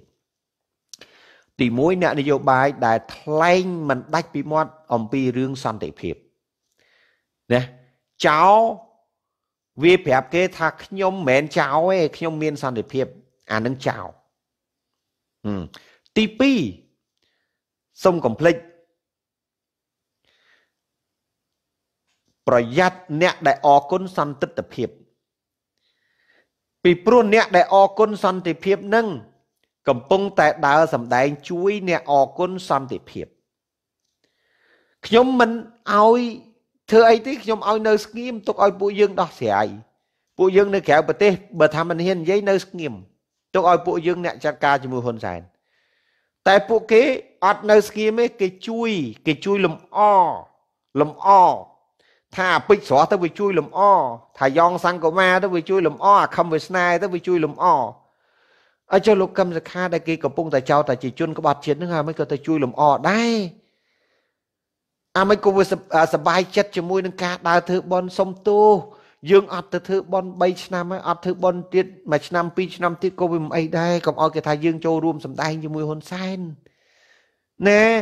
អានឹងប្រយ័ត្នណានឹងប្រជាពលរដ្ឋគាត់ច្បាស់ណាស់ ទាំងអស់ហ្នឹងនាគទេពអញ្ចឹងហើយបានជាខ្ញុំកណាខ្ញុំខ្ញុំចង់និយាយថា បើយើងដឹងថាប្រពន្ធយើងក្បត់យើងហើយឲ្យគេទៅទៅទៅចង់អូនទៅចង់ទៅឲ្យឆ្ងាយហេនេះខាន់សវណ្ណចូលមកដែរតើខាន់សវណ្ណខាន់សវណ្ណអាឡុងជាចារកម្មរបស់សម្ដេចហ៊ុនសែនទេអឺសម្ដេចហ៊ុនសែនអើយមើលអាចំគួត កាចាស់មួយនោះណាខ្ញុំថាអញ្ចឹងណាលោកខាន់សវណ្ណកុំថាអីថាបានមើលអាចំគួតកាចាស់មួយនោះសំបីតែខ្ញុំជាគិញរបស់សម្ដេចសោះឥឡូវហ្នឹងខាន់សវណ្ណហ្នឹងមកប្រាប់អស់អាលីងប្រហែលជាខាន់សវណ្ណហ្នឹងជាគិញរបស់សំរងស៊ីហើយមើលទៅឯងកំពុងតែទៅក្បែរលោកសំរងស៊ីខាន់សវណ្ណបែរទៅជាមកប្រាប់ថាខ្ញុំនឹងជាគិញរបស់ហ៊ុនជាគិញសម្ងាត់ជាចារកម្មរបស់ហ៊ុនសែនឈួតទេគេខាន់សវណ្ណឯងគាំទ្រម្ដេចដេជោដែរ អាមិនមកផ្សាយថាខ្ញុំនឹងជាគិញរបស់ម្ដេចដេជោអញ្ចឹងមើលមើលមើលនេះទេមើលមើលជួយបដៅខាន់សវណ្ណនៅខ្ញុំតិចមើលចឹងខាន់សវណ្ណនឹងជាមនុស្សរបស់អ្នកណាគេសង្ស័យជាមនុស្សរបស់លោកសំនឹងស៊ីអីណាធ្វើឯងឈោនៅសាយសម្ដេចដេជោហ៊ុនសែនអីមួយថ្ងៃមួយថ្ងៃតសៅហ៊ុនសែនជេរសំរងស៊ីប៉ុន្តែអាឯងនេះជាចារកម្មរបស់ហ៊ុនសែនស្រាប់តែខាន់សវណ្ណយកមកប្រាប់គេនៅក្នុងឡាយឯងហើយឈួតទេអី ក្រែងឯងនឹងការពារដៃជោអីអាមិនបានជាមកបកអាក្រាតអឺអឺអឺចារកម្មរបស់ដេជោអញ្ចឹងឈួតទេអីហាមើលមើលមើលនេះទៀបជួយមើលមើលអាឪក្មេងចំគួតហើយអីខណ្ឌសវណ្ណមុននឹងមុននឹងតសេនឹងមានពិចារណា3 4ត្រឡប់មុននេះ បាទអាឡុងបោកសំរងស៊ីដើម្បីចូលឲ្យគៀកសិនមែនដែរទេ ហើយអាម៉េចខណ្ឌសវណ្ណឯងឈួតទេអីម៉េចបើខ្ញុំកំពុងតែបោកសំរងស៊ីចូលឲ្យគៀកលោកសំរងស៊ីនឹងដើម្បីបោកលោកសំរងស៊ីហើយខណ្ឌសវណ្ណឯងវាទើសក្បាលអីដែរគេឯងនឹងនៅខាង CPP ដែរអីឈួតទេបើឯងបានទៅគៀកសំរងស៊ីនឹងបំបែកសំរងស៊ីបានឯងនឹងវាមិនចំណេញហើយមកប្រាប់គេធ្វើស្អីឈួតទេលប់សតិមិនចេះអាតានេះណា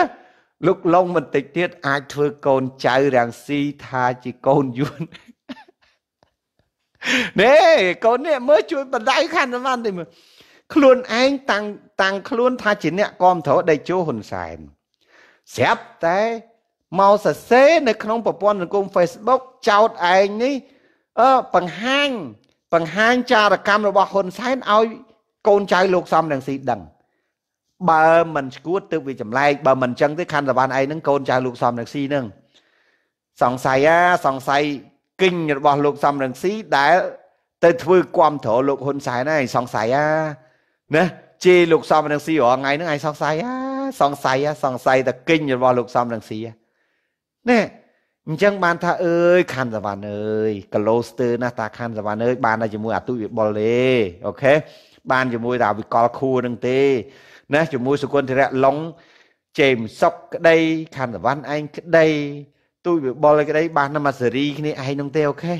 ហ្នឹងហើយមកជាមួយសុគន្ធរៈឡុងនឹងគីឡូបងអឺលោកពូលោកពូខាន់សវណ្ណឯងស្ទើណានៅស្ទើណា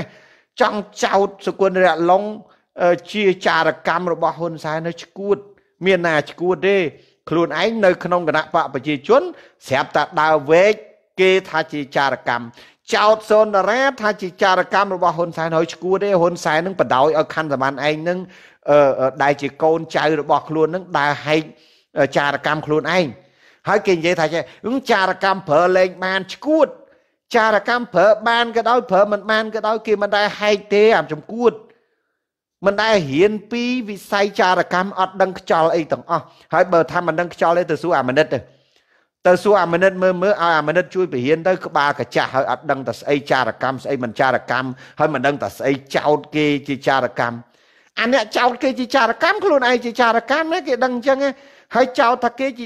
ជាចារកម្មរបស់ហ៊ុនសែនអញ្ចឹងមានតែឯងនឹងជាចារកម្មរបស់សំរងស៊ីយ៉ាងម៉េចបានទៅវែកមុខចារកម្មរបស់ហ៊ុនសែនឲ្យអ្នកសំរងស៊ីដឹងអញ្ចឹងមានតែឯងអ្នកការពារហ៊ុនសែនមកវែកមុខហ្នឹងមានន័យថាឯងអត់កាន់ជើងហ៊ុនសែនទេចុះ អានឹងហើយដែលខ្ញុំចង់និយាយនោះណាចឹងហើយបានថាអ្នកចំការចឹងកុំរៀនឈួតតាមខណ្ឌសវណ្ណអូខេរៀនប្រើវិចារណញ្ញាណហ្នឹងកុំធ្វើជាមនុស្សក្បាលដៃគោលណា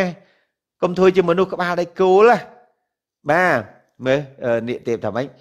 លោកឡុងតើ TV TV លោកឡុងអាចហៅរាំងស៊ីចូលសម្ភារបានទេខ្ញុំ TV ខ្ញុំសម្រាប់តែប្រយុទ្ធជាមួយនឹងជនផ្ដាច់ការទេមិនមែន TV នឹងសម្រាប់បើទូទូព្រះអាទិត្យកម្ពុជាអាចប៉ុន្តែបើទូទូសម្លេងមនសិការសម្លេងមនសិការខ្មែរមិនមែនជាលក្ខណៈទូរទស្សន៍ទេគ្រាន់តែយើងថាទូរទស្សន៍ប៉ុន្តែមិនពេញលក្ខណៈមិនពេញលក្ខណៈយ៉ាងម៉េចពីព្រោះយើងផ្សាយជាកិច្ចពិភាក្សាសុទ្ធសាធមិនមែនជាការអានព័ត៌មានមិនមែនជាការធ្វើព័ត៌មានមិនមែនជាអី គឺជាកិច្ចពិភាក្សាចូលរួមគំនិតយោបល់តែម្យ៉ាងគត់បាទចឹងគាត់អត់អាចចូលរួមបានទេពីព្រោះយើងមិនមែនជាជាសកម្មជនដូចជាទូទួសម្លេងអ្នកសិកាហ្នឹងគឺជាទូទួមិនមែនជាទូទួប៉ាណាហើយមិនមែនចេះតែយើងទៅអញ្ជើញគាត់មិនទេយើងមិនមែនទូទួល្បីណាហ៎ប៉ុន្តែសម្រាប់គណៈបព្វជិជនទូទួសម្លេងមសិកាខ្មែរហ្នឹងគឺល្បីរហូតដល់ខៀវកញ្ញរិទ្ធប្តឹងទៀតណមិនធម្មតាណា ប្តឹងទៀតណណាអានឹងបើសម្រាប់គណៈបព្វជិជនប៉ុន្តែបើសម្រាប់គណៈបកសង្គ្រោះជាតិគឺសម្លេងមនសិកាគ្រាន់តែជាផ្នែកទូចមួយទេ ដែលប្រកួតជាមួយហ៊ុនសែនធ្វើឲ្យហ៊ុនសែនវិលក្បងតែប៉ុណ្្នឹងឯងបាទអឺអីចម្លើយរាំងស៊ីមិនជ្រលក់មាត់អឺជាមួយទេ ដោយហេតុផលមិនទុកចិត្តលោកឡុងខ្ញុំមានត្រូវការធ្វើឲ្យលោកសំរងស៊ីទុកចិត្តខ្ញុំឯណានេះទេបាទខ្ញុំប្រាប់ខ្ញុំអត់ដូចនេះទេឯងអត់ដូចពួកនេះទេឯងទេអូខេខ្ញុំដែលតស៊ូផ្នែកនយោបាយនេះណាខ្ញុំអត់អត់ដូចពួកនេះទេឯងទេសំបីតពងហ៊ុនសែនកើតលមាស់ក៏ពួកនេះទេឯងលិតទេ ខ្ញុំអត់អញ្ចឹងទេខ្ញុំ ដោយសារតែលោកសំរងស៊ីគាត់មានចិត្តចង់សង្គ្រោះប្រទេសជាតិដូចខ្ញុំខ្ញុំអត់ត្រូវការទៅយកចិត្តលោកសំរងស៊ីដើម្បីតំណែងទេវាខុសពីអ្នកដែលទៅយកចិត្តលោកកឹមសខាសកុនរៈឡុងអត់ទេអត់យកចិត្តអ្នកណាដើម្បីតំណែង ហើយបើចង់ជួយកែហ៊ុនសែនគឺឌីលហ៊ុនសែនកែហ៊ុនសែនតែមិនធ្វើជាមនុស្ស អែបអបសម្ដេចដេជោល្អណាសម្ដេចដេជោធ្វើមានសម្ដេចដេជោមានការអភិវឌ្ឍខ្ញុំអត់ធ្វើជាឆ្កែក្រន់តែរុញដេជោឲ្យធ្លាក់នរកទេអូខេបើសិនណាជាខ្ញុំស្រឡាញ់ដេជោខ្ញុំអត់ធ្វើដោយពួកអាសនៈអស់នឹងទេដូចអាង៉ែតវ៉ាតដូចអឺខណ្ឌសវណ្ណដូចជេមសុកអីខ្ញុំអត់ធ្វើដូចឆ្កែអស់នឹងទេខ្ញុំត្រូវរិះគន់ហ៊ុនសែនដើម្បីឲ្យហ៊ុនសែនកែ ហើយបើវាមិនកែទេក៏ឲ្យទៅមិនមែនមុខដូចម៉ែយើងទេណាអានឹងបើខ្ញុំស្រឡាញ់គាត់ណានិយាយចឹងហើយដូចជាហ៊ុនសែនណាបើគុំស្ដាប់ពួកអាអ្នកលិតពងត្រោពងនឹងហើយស្ដាប់តែអ្នកប្រឆាំងហ៊ុនសែនកែតម្រង់បានប្រទេសច្រើនណាហើយអ្នកប្រឆាំងក៏លេងស្អប់លេងប្រឆាំងទៅទៀតប៉ុន្តែមានទៅស្ដាប់ឯណាហ៊ុនសែនទៅស្ដាប់តែពួកអាថ្លែនដែលនៅជុំវិញខ្លួនមួយចំនួនដែលវាអាក្រក់អាក្រក់ហ្នឹង តែវាអាក្រក់អាក្រក់ហ្នឹងដូចខណ្ឌសវណ្ណដូចអីហ្នឹងលេងទៅប្រាប់ហ៊ុនសែនអីឲ្យកំតិចពួកប្រឆាំងឲ្យអស់អីឈួតបាត់ទៅហើយមិនយ៉ាងទេត្រូវលោកខាន់សវណ្ណខ្ញុំមិនមែនស្ដីមិនមែនមិនមែនបច្ឆេះអីទេលោកកឹមសខាគាត់អ្នកនយោបាយជើងចាស់ខ្ញុំនិយាយនឹងហាក់បីដូចថាខ្ញុំជាក្មេងបដៅគាត់ទៅចោះសំបីតលោកខាន់សវណ្ណឯងរាល់ថ្ងៃនឹងប្រឹងនឹងតាមពិត ខាន់សវណ្ណឯងនឹងប្រឹងជួយប្រម៉ូតលោកកឹមសខាជំនួសក្រុមលោកកឹមសខាទេគណៈបកប្រជាជនឲ្យលោកនឹងនិយាយដើម្បីប្រម៉ូតបើឲ្យប្រម៉ូតដើម្បីបំបែកប៉ុន្តែខ្ញុំសូមប្រាប់កាន់ទៅទៅកាន់តែល្អហើយហ៊ុនសែនបែកបំបែកបានហើយបំបែកយកទៅធ្វើស្អីឥឡូវហ្នឹងយកទៅធ្វើស្អីមិនកើតបើខ្ញុំជាហ៊ុនសែនបំបែក ត្រូវតែបំបែកយកទាំងកម្មសខាយកទាំងកម្លាំងកម្មសខាប៉ុន្តែបើបំបែកយកកម្មសខាបាន តែបំបែកយកកម្លាំងកម្មសខាអត់បានបំបែករហូតបកាច់យកស្អីឈួរទេចំណាយលុយអត់ប្រយោជន៍ចំណាយលុយអស់រាប់លានដុល្លារឥតប្រយោជន៍បំបែកបានតែក្រុមកម្មសខា2 3ក្បាល4 10ក្បាលតែអ្នកគ្រប់គ្រងគណៈបកសង្គ្រោះជាតិរាប់សែនអ្នករាប់លានអ្នកគេអត់ទៅជាមួយសួរតាហ៊ុនសែនបំបែកទៅស្អី អានឹងជាយុទ្ធសាស្ត្រណាខាន់សវណ្ណមិនមែនចេះតែលេលើទេអញ្ចឹងហើយបានជាមកទល់គ្នានឹងម៉ោងនេះណាហ៊ុនសែនមិនព្រមទាន់ទទួលយកនោះណាអានឹងហើយណាអាឡុងរិះគន់រដ្ឋាភិបាលដើម្បីបោកប្រាស់ខ្មែរប្រឆាំង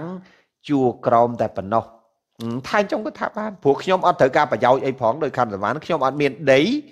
ហើយខ្ញុំក៏អត់ត្រូវការប្រយោជន៍បើខ្ញុំត្រូវការផលប្រយោជន៍ខ្ញុំត្រូវការផលប្រយោជន៍ពីហ៊ុនសែន ហើយខ្ញុំទៅបោកអីប្រជាពលរដ្ឋដែលគេអត់ឲ្យលុយខ្ញុំហ្នឹងទៅបោកលោកសំរងស៊ីលោកសំរងស៊ីមានដីណាឲ្យខ្ញុំ សំរងស៊ីមានឡាន500ចិត្តឯណាឲ្យខ្ញុំសំរងស៊ីមានឋានៈអីឲ្យខ្ញុំអត់មានផងហើយខ្ញុំបោកសំរងស៊ីទៅស្អីខ្ញុំបោកប្រជាពលរដ្ឋដែលគ្រប់គ្រងសំរងស៊ីទៅស្អីបើខ្ញុំចង់បានរបស់ទាំងអស់ហ្នឹងខ្ញុំទៅគ្រប់គ្រងហ៊ុនសែនទៅខណ្ឌសវណ្ណអីចឹងមានដីមានអីចឹងមានកភ្លើងអីបាញ់លេងតែប្រេតតែផ្ដាស់ក្នុងចការចឹងគេហៅទៅ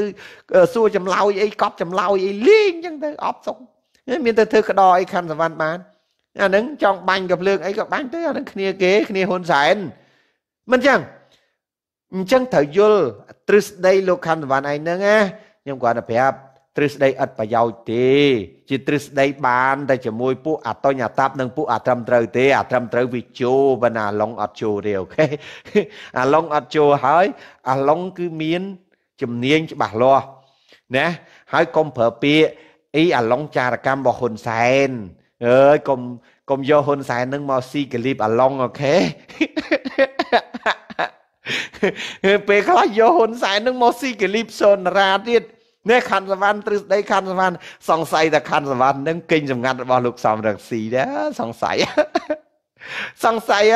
ហ៊ុនសែនជួយពិនិត្យមើលសង្ស័យតែខណ្ឌសវណ្ណនឹងគិញសម្ងាត់របស់សំរងស៊ីត្មងព្រោះអីចេះព្រោះអីគាត់គាត់ទៅទៅចូលក្នុងឡាយលោកគ្រូសុនារាណាគាត់ថាលោកគ្រូសុនារានឹង ជាចារកម្មរបស់ហ៊ុនសែនហើយឈួតគាត់អ្នកការពារហ៊ុនសែនគាត់នៅជាមួយហ៊ុនសែនអ្នកណាក៏គេដឹងថាគាត់នឹងការពារហ៊ុនសែនដែរគាត់គាត់និយាយមែនទោះជាគាត់និយាយថាគាត់នឹងជាអង្គប្រុកប្រាជ្ញមិនចូលមែនប៉ុន្តែគាត់នឹងគឺជាអ្នកការពារហ៊ុនសែនអ្នកណាក៏គេដឹងដល់ពេលគាត់គាត់មកលៀបពណ៌នៅក្នុងការ live របស់គេថាអូអឺសូនារានឹងគឺជាចារកម្មរបស់ហ៊ុនសែនទេហាហើយបងប្អូនសាកគិតតិចមើលហ៊ីអាម៉េចក៏ខាន់សវណ្ណ បែរទៅជាមកបកអាក្រាតចារកម្មរបស់ហ៊ុនសែនបើមែនតែនទៅខណ្ឌសវណ្ណក្តីសូនតារាក្តី គឺជាគ្នារបស់ហ៊ុនសែនតើអាមិនបានជាខណ្ឌសវណ្ណមកប្រាប់ប្រជាជនឈប់ឲ្យទៅស្ដាប់ឈប់ឲ្យទៅជឿសូនតារាឈប់ឲ្យទៅស្ដាប់ឈប់ឲ្យទៅជឿអាឡុងព្រោះអាឡុងជាចារកម្មរបស់ហ៊ុនសែនអញ្ចឹងមានន័យថាម៉េចអញ្ចឹងមានន័យថាចារកម្មហ៊ុនសែនដែលហ៊ុនសែនចង់ឲ្យបោកគេហ្នឹង ណាដែលចង់ឲ្យហ៊ុនសែនប្រើមកឲ្យបោកខាងលោកសំរងស៊ីនឹងបោកមិនបានបើខណ្ឌសវណ្ណវែងមុខចារកម្មរបស់គាត់ហើយសំរងស៊ីមិនទុកចិត្តសគុណធិរៈឡុងទៀតសំរងស៊ីមិនទុកចិត្តសើនតារាទៀតអញ្ចឹងហ៊ុនសែនចង់ប្រើសើនតារាដើម្បីឲ្យបោកសំរងស៊ីក៏បោកមិនបាន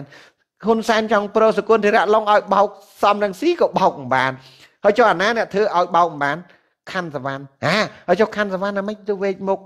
ចារកម្មរបស់ហ៊ុនសែននេះប្រើមកអញ្ចឹងអញ្ចឹងមានន័យថាម៉េចមានន័យថាខណ្ឌសវណ្ណនឹងចារកម្មរបស់លោកសំរងស៊ីអានឹងមានន័យត្រង់ហ្នឹងឯងឆេងលីហ៎ឆេងលីអនុរុបាទគាត់សរសេរអញ្ចឹងឯណានៅគាត់សរសេរអនុរុបាទឆេងលីអនុរុបាទអញ្ចឹងខ្ញុំអរគុណហើយដែលខណ្ឌសវណ្ណគាត់និយាយអញ្ចឹងហ្នឹងហើយ ពាក្យហ្នឹងខ្ញុំចង់ប្រាប់បងប្អូនទស្សនិកជនយូរហើយប៉ុន្តែគ្រាន់ថាថ្ងៃនេះអឺមិនដែលជួបគាត់ឥឡូវបានតែគាត់មកហើយគឺថាខ្ញុំនិយាយឲ្យចាស់នឹងខ្មាស់គេម្ដងទៅកុំឲ្យល្ងងពេកខណ្ឌសវណ្ណអើយខណ្ឌសវណ្ណឯងនិយាយរាល់ថ្ងៃហ្នឹងដឹងមិនគេធុញទ្រាន់ណាសំបីតគណៈបកប្រជាជនហ្នឹងក៏គេសាំដែរណាលោកខណ្ឌសវណ្ណហើយលោកខណ្ឌសវណ្ណឯងមានដឹងតែគេតប៉ែគេសាំតប៉ែលោកខណ្ឌសវណ្ណឯងអត់គណៈបកប្រជាជនណាគេដឹងច្បាស់ណា កឹមសុកអាឡុងនិងសូនតារា ជាចារកម្មរបស់ហ៊ុនសែនទេដឹងបងប្អូនហេកុំដាក់សំណួរមុននឹងអត់ដាក់សំណួរណាមុននឹងគឺនិយាយនិយាយតាមុននឹងមិនមែនដាក់សំណួរទេខណ្ឌសវណ្ណអើយពាក្យដែលខ្ញុំនិយាយនឹងលឺដល់ហ៊ុនសែនហើយខណ្ឌសវណ្ណអីសង្ស័យតែចារកម្មរបស់លោកសំរងស៊ីណាសង្ស័យណាអញ្ចឹងហើយបានជាជេមសុកថាណែខណ្ឌសម្បានក្លើឈប់វាយលោកសំរងស៊ីទៅណាវាយលោកសំរងស៊ីដូចលើកកលីបលោកសំរងស៊ីអញ្ចឹងហើយជេមសុកខណ្ឌសវណ្ណឯងអត់ព្រមទេជេមសុកឆ្លោះជាមួយជេមសុកអឺដេញជេមសុកឲ្យចេញពីសម្ដេចដេជោឃើញទេឥឡូវហ្នឹងទៅចរចាត្រូវគ្នាវិញទេទៅចរចាត្រូវគ្នាវិញអាដំបងណាជេមសុកគាត់ប្រាប់ថាឈប់ឲ្យវាយលោកសំរងស៊ីទៅតែកាលណាកាន់តែវាយគឺលោកសំរងស៊ីកាន់តែឡើងកលីប នេះអានឹងយុទ្ធសាស្ត្ររបស់បងជេមសុកខណ្ឌសវណ្ណអត់ព្រមគាត់ថាគាត់វាយរហូតដរាបណាវាយសំរងស៊ីរហូតអញ្ចឹងមានន័យថាម៉េចសង្ស័យអាសង្ស័យតែអឺវិរៈជនរបស់ខណ្ឌសវណ្ណហ្នឹងគឺលោកសំរងស៊ីជេរហងៃមែនប៉ុន្តែមិនប្រកាសទេណាមិនប្រកាសទេអញ្ចឹងលោកហ៊ុនសែននិងគ្រួសារលោកហ៊ុនសែនពិចារណាមើលទៅ អាណិតអាសូរឪក្មេកផងគ្រូតាគាត់ចាស់ហើយអារុនសួស្ដីអាណិតអីគាត់ណាមកពីគាត់នឹងទៅប្រជេះកូនគាត់លេងឲ្យស្រឡាញ់ខ្ញុំនឹងបាទខ្ញុំដាប់ដល់ប៉ុណ្ណឹងនឹងណាបាទណាទៅឃើញណាហ៊ុនម៉ាណែតអីចង់លើកកូនទុកឲ្យហ៊ុនម៉ាណែតនោះឆេងលីអាងាប់អាអត់ខួរបាទជេងលីជេងលីអាងាប់អាអត់ខួរបាទ អរគុណច្រើនជ័យលីបាទខណ្ឌសវណ្ណវាល្ងងធ្វើចេះដោយអាខ្វាក់ហ៊ុនសែនអញ្ចឹងបងសិនទេពសិនទេពអូខេបងប្អូនសូមបញ្ចប់ប៉ុណ្ណឹងចោះខណ្ឌសវណ្ណប៉ុណ្ណឹងចោះឲ្យបងប្អូនទាំងអស់គ្នានាកតូចនាកទេពបាទជួយបដៅខណ្ឌសវណ្ណផងអូខេនាកទេពឯងមិនមកធ្វើកូនប្រសាគាត់ទៅណា អឺมันអាចយក TV បុតបន្តែងបានទេអាមានពីថាទៅយក TV គេអាម៉េចម៉េច TV ហ្នឹងប្រើទាំងអស់គ្នាតើមានណាទៅយកអ្នកណានាកទេពនាកទេពអញល្ងងមែននាកទេពនាកទេពនៅពួកយើងនេះប្រើប្រាស់ប្រព័ន្ធផ្សព្វផ្សាយមិនមែនដូចខាង CPP ទេអូខេពួកយើងគឺសេរីភាពនៅក្នុងការប្រើប្រាស់ដោយខ្ញុំអញ្ចឹងនៅក្នុងទូទួព្រះអាទិត្យហ្នឹងក៏ខ្ញុំជាអ្នកអឺ ជាជាកូនស្ថាបនិកមួយនៅក្នុងនឹងដែរអញ្ចឹងណានិទេពហើយខ្ញុំអាចប្រើប្រាស់បានតើនិទេពឯងដឹងហើយតើខ្ញុំអាចប្រើប្រាស់បាន ហើយខ្ញុំក៏មិនអាចយកទូទូព្រះអាទិត្យដេគុណក៏មិនអាចយកទូទូព្រះអាទិត្យ អ្នកណាមួយក៏មិនអាចយកទូទូព្រះអាទិត្យប៉ុន្តែគណៈបកសង្គ្រោះជាតិអាចប្រើប្រាស់ទូទូព្រះអាទិត្យទាំងអស់គ្នាបានហេរឿងវាអញ្ចឹងណាយើងវាយរាំងស៊ីរហូតដល់តែងាប់ទើបយើងឈប់អាឡុងហ្នឹងហើយបានខ្ញុំថាអាហ្នឹងវាស៊ីសងលើហ៊ុនសែនអូខេមិនអូខេទេវាមិនមែនថាសងលើខណ្ឌសវណ្ណឯងទេបើបើហ៊ុនសែនថាអឺបន្តវាយទៅវាយទៅតែបើហ៊ុនសែនថាឈប់ភ្លាមឯងអាយះក្បាលលឿឯង ដូចថ្ងៃមុនអញ្ចឹងយំយែកផងអីផងឈប់ឡាយឡើងមករយៈអាហ្នឹងហ៊ុនសែនកម្រាមដាក់ពីនៃហ្នឹងណាស្មានតែសុគន្ធរៈឡងអត់ដឹងឯខានសវណ្ណងាប់ហើយថាខណ្ឌសវណ្ណឯងផោមកន្លែងណាក៏សុគន្ធរៈឡងដឹងដែរពីព្រោះអីក្នុងគណៈបកប្រជាជនហ្នឹងក៏ដៃជើងសុគន្ធរៈឡងច្រើនដែរណាហើយអ្នកក្នុងគណៈបកប្រជាជននឹងមានអ្នកគេស្នេហាជាតិច្រើនទេយល់ទេយល់ទេ ឃើញឃើញនាងកេឡាងឯនាងកេឡាងយ៉ាងម៉េចហើយនាងកេឡាងខណ្ឌសវណ្ណនាងកេឡាងអាយដលខណ្ឌសវណ្ណឯងនោះណាអាយដលខណ្ឌសវណ្ណឯងនោះយ៉ាងម៉េចហើយឥឡូវហ្នឹងសកុនធរៈឡុងវិនិច្ឆ័យឬក៏អាយដលកេឡាងអាយដលរបស់ខណ្ឌសវណ្ណឯងទៅណាឥឡូវហ្នឹងនាគទេពនាគទេពអាយដលទៅណាឥឡូវហ្នឹងបាត់ហ่ะបាត់នឹងមិនមែនដោយសារភេកគេប្លុកទេដោយសារវាខុសបច្ចេកទេសហើយហេតុអីបានខុសបច្ចេកទេសទេ ដោយសារតែសគុណធរៈឡុងនេះក្លុកដើម្បីឲ្យនាងនឹងខុសបច្ចេកទេសមិនមែនសុកសុកនាងនឹងខុសបច្ចេកទេសធ្វើឲ្យអាហ៊ុនម៉ាណែតផ្អាកនាងនឹងមួយរយៈទេនេះខាន់សវណ្ណណារៀនពីសគុណធរៈឡុងឲ្យបានច្រើនតិចទៅអូខេរៀនទៅ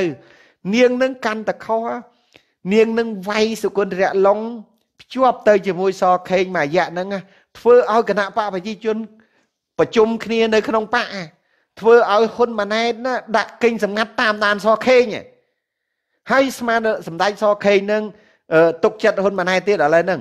សบายចិត្តជាមួយនឹងហ៊ុនម៉ាណែតធ្វើអញ្ចឹងដាក់គាត់ដោយសារអីដោយសារគេឡើងហ្នឹងហើយគេឡើងនៅដោយសារណាណាដោយសារសគុណធិរៈឡងចាក់ហ្នឹងណាបានជារឿងនឹងដល់ដំណាក់កាលនឹងនាងនឹងជេរសខេងទៅជេរទៅណែរៀនទៀតខណ្ឌសវណ្ណរៀនទៀតសគុណធរៈឡុងប្រកួតមិនចាំបាច់ទៅដល់កន្លែងនេះ ប្រកួតនៅតែក្រៅកន្លែងក៏ខាងក្នុងគណៈបកប្រជាជននឹងប្រជុំដោយសារនាងចំគួតមួយនឹងដែរយល់ទេឥឡូវមានអីនិយាយទៀតឥឡូវហ្នឹងឥឡូវមាននិយាយអីនិយាយទៀតអញ្ចឹងហើយបានកុំចេះតែហ៊ានអូខេកុំចេះតែហ៊ានរៀនបាទប៉ុន្តែមិនមែនរៀនដូចជេមសុក បើខ្ញុំទៅស្រុកខ្មែរខ្ញុំមិនធ្វើប៉ះពាល់អីដល់ប្រទេសជាតិទេខ្ញុំនឹងដើរទៅពង្រៀនខ្ញុំថាសាធុគ្មានអ្នកណាមួយចង់ធ្វើឲ្យប៉ះពាល់ដល់ប្រទេសជាតិទេក៏ប៉ុន្តែអាសង្គមនឹងទោះជាយើងមិនប៉ះគេក៏គេប៉ះយើងដែរឲ្យតែយើងគ្រាន់បើ យល់ទេជេមសុកអត់ទៅប៉ះគេមែនប៉ុន្តែគេទៅប៉ះជេមសុកជួនណាគេដឹងទៅអាជេមសុកនឹងនិយាយល្អណាហេខ្លាចវាគ្រាន់បើជាងអញដាក់ពឹងពឹងពឹងពឹងផ្ងាជើងមិនស្រួលគោះថ្នាក់សារាចរបាក់ជើងទៅទៀតក៏ថាបានអាហ្នឹងអញ្ចឹងអញ្ចឹងបានថាអីបានកំថាណែខណ្ឌសវណ្ណគាត់ថាមិនទៀតណាអាឡុងហែកអាខោននាងកេកឡាងមែនទេដឹងអូខ្ញុំអត់ចេះហែកទេសុំទោសខ្ញុំអត់ចេះហែកអាខោនទេ បាទខ្ញុំខ្ញុំនិយាយដល់ត្រង់ខ្ញុំល្ងងខ្ញុំមិនចេះរឿងហែក account បើខ្ញុំហែក account ខ្ញុំហែករបស់ហ៊ុនសែនខ្ញុំមិនតែហែកគេចឡាងនឹងទៅទេមែនប៉ុន្តែនាងនឹងវាអាក្រក់ខ្លួនឯងទេបាបកម្មឆន្ទវណ្ណប៉ុន្តែបាបកម្មនឹងមិនសមធ្លាក់ទៅលើនាងនេះវាសមទៅធ្លាក់ទៅលើហ៊ុនសែនណាត្រូវណាវាសមមកធ្លាក់ប៉ុន្តែយ៉ាងហោចណាស់ក៏បាននាងកេកឡាងនឹងជួយឲ្យសម្ដេចសខេងណា ខ្ញុំនិយាយមួយម៉ាត់បើកកកាយបន្តិចចុះបើកកាយទេគណៈបព្វជិជនហ្នឹងមិនដែលប្រជុំគ្នាដូចនាងនឹងវាយសោះខេង តាមពិតនាងនឹងវិញអាខោននឹងគេឲ្យមកវិញហើយក៏ប៉ុន្តែអាមេរបស់នាងនឹងហាមមិនឲ្យនាងនឹងនិយាយខណ្ឌសវណ្ណមិនមែននាងនឹងគេលុបបំបត្តិចោលទេអាខោននាងនឹងដំណើរការបានតាទោះជាអាខោននឹងនាងនឹង page នាងនឹងដំណើរការបានក៏នាងនឹង live តាម account Facebook បានតាហើយនាងអាចបង្កើត page ថ្មីថ្មីថ្មីថ្មីទៀតបាន live តាប៉ុន្តែហេតុអីបានជានាងអត់ live ពីពីព្រោះអាមេនឹងវាមិនឲ្យឡាយហេតុអីបានជាអាមេមិនឲ្យឡាយមកពីវាវាយខុសសមរភូមិវាវាយខុសទិសដៅវាឈួតហើយសួរតែហេតុអីបានវាខុសទិសដៅដោយសារតែសគុណធរៈឡុងចាក់ឲ្យវាខុសទិសដៅមិនត្រឹមតែជួយប្រមូតសគុណធរៈឡុងនិងប្រមូតទូទូសម្លេងអ្នកសិកាទេ ថែមទាំងធ្វើឲ្យគណៈបកប្រជាជននឹងវង្វេងវង្វាន់ទៀតផងមួយរយៈកាលមុននោះកុំងងពេកណាខណ្ឌសវណ្ណកុំចេះតែហ៊ានអូខេ អរគុណច្រើនបងប្អូនដែលបានជាចូលរួមថ្ងៃនេះខ្ញុំគ្រាន់តែនិយាយប៉ុណ្្នឹងទេសូមអរគុណហើយចំពោះអស់លោកលោកស្រីនាងកញ្ញាដែលបានជើញចូលរួមនៅក្នុងការផ្សាយនៅក្នុងទីនេះបាទហើយក៏អរគុណដែរចំពោះអ្នកដែលចូលមកដូចជាលោកខាន់សវណ្ណអីជាដើមប៉ុន្តែលោកខាន់សវណ្ណណា អឺសុំផ្ដាំមិនមកឈប់ទៅនិយាយមួយអាវិបុលនឹងទៅអាវិបុលនឹងវាកលខួរទេហើយលោកខាន់តវ៉ាន់ឯងទៅជួបជាមួយអាវិបុលនឹងទៅស្អីតើវាមានមោទនភាពអីជាមួយអាវិបុលនឹងនោះអេបើជួបជាមួយជេមសុកបើជួបជាមួយអីទៅគ្រាន់បើបន្តិចជេមសុកគាត់គ្រាន់បើគ្រាន់បើបន្តិចតួចខ្ញុំខ្ញុំតសើគាត់គ្រាន់បើបន្តិចតួចប៉ុន្តែខ្ញុំអឺប្រាប់បងប្អូនណាបងប្អូនវីដេអូជេមសុកមួយជេខាន់សវណ្ណល្អណាស់ វីដេអូនឹងត្រូវបានយើងបង្ហោះជារៀងរាល់ថ្ងៃហើយខ្ញុំ share ជារៀងរាល់ថ្ងៃបងប្អូនជួយ share ជារៀងរាល់ថ្ងៃផងគឺថាល្អមែនតែនគឺចិត្តជាងកន្លះម៉ោងដែល James Sok គាត់ធ្វើវីដេអូហ្នឹងគឺថាគឺសម្ដីគ្រប់ម៉ាត់របស់ James Sok ដែលជេរហ៊ុនសែនគឺជាសម្ដីការពិត អ្វីដែលជេមសុកកំពុងតែធ្វើរាល់ថ្ងៃហ្នឹងមិនមែនជាការពិតទេគ្រាន់តែជាការចោះចូលគ្រាន់តែជាការចោះចាញ់និងជាការសុំទោសទេប៉ុន្តែសម្ដីនោះគឺជាការពិតសូមបងប្អូនយកអាវីដេអូហ្នឹងរបស់ជេមសុកហ្នឹងទៅផុសហើយផុសទៀតផុសហើយផុសទៀតបាទហ្នឹងហើយដើម្បីអីដើម្បីឲ្យពួកលោកហ៊ុនសែននិងក្រុមលោកហ៊ុនសែនបានដឹងហើយឲ្យឲ្យស៊ឺឲ្យពួកគេស៊ឺឲ្យពួកគេស៊ឺស៊ឺផងបាទអញ្ចឹងបានថាជេមសុក គាត់ជេរសំរងស៊ីថាក្រុមអបបេថោកនិយាយថាមិនសភាគូតមន់ដល់ខ្លួនឯងចូលទៅសភាហើយសំឡេងជេមសុកដែលជេរហ៊ុនសែនទាំងពូជទាំងពូជថាស្អប់ហ៊ុនសែនណាស់អាចោក្បត់ជាតិអាបំផ្លាញជាតិលទ្ធផលចុងក្រោយទៅត្រោពងអាចោក្បត់ជាតិអាបំផ្លាញជាតិអញ្ចឹងអ្នកណាជាបបេថោក ណាអ្នកណាជាបបេថោកខ្លួនឯងជាបបេថោកខ្លួនឯងទៅថាគេបបេថោកគ្មានអាណាថោកដោយខ្លួនឯងទេរឿងគឺវាតែប៉ុណ្្នឹងទេបងប្អូនជួនរួមជាតិបាទហើយកូននេះកុំញ៉ៃញ៉ៃមួយស្រីតូច OK ស្រីតូចហ្នឹងគឺអគ្គលេខាផ្ទាល់របស់ខ្ញុំ OK កូននេះហើយស្រីតូចហ្នឹងគេសួរថាអើស្រីតូចស្អាតទេអីស្រីតូចមើលតែរូបនៅក្នុងនោះទៅរូបគាត់ហ្នឹងរូបពីក្រោយហ្នឹងរូបគាត់ហើយស្អាតស្អាតមើលទៅ ស្រីតូអឺនាគទេពបាទមើលទៅបាទហ្នឹងហើយកុំឲ្យញ៉ែញ៉ៃ OK នាគទេពអាញ៉ែញ៉ៃអត់បានទេ OK បើថាទៅញ៉ែញ៉ៃញ៉ែញ៉ៃមួយកូនខណ្ឌសវណ្ណទៅ OK អានឹងបានណា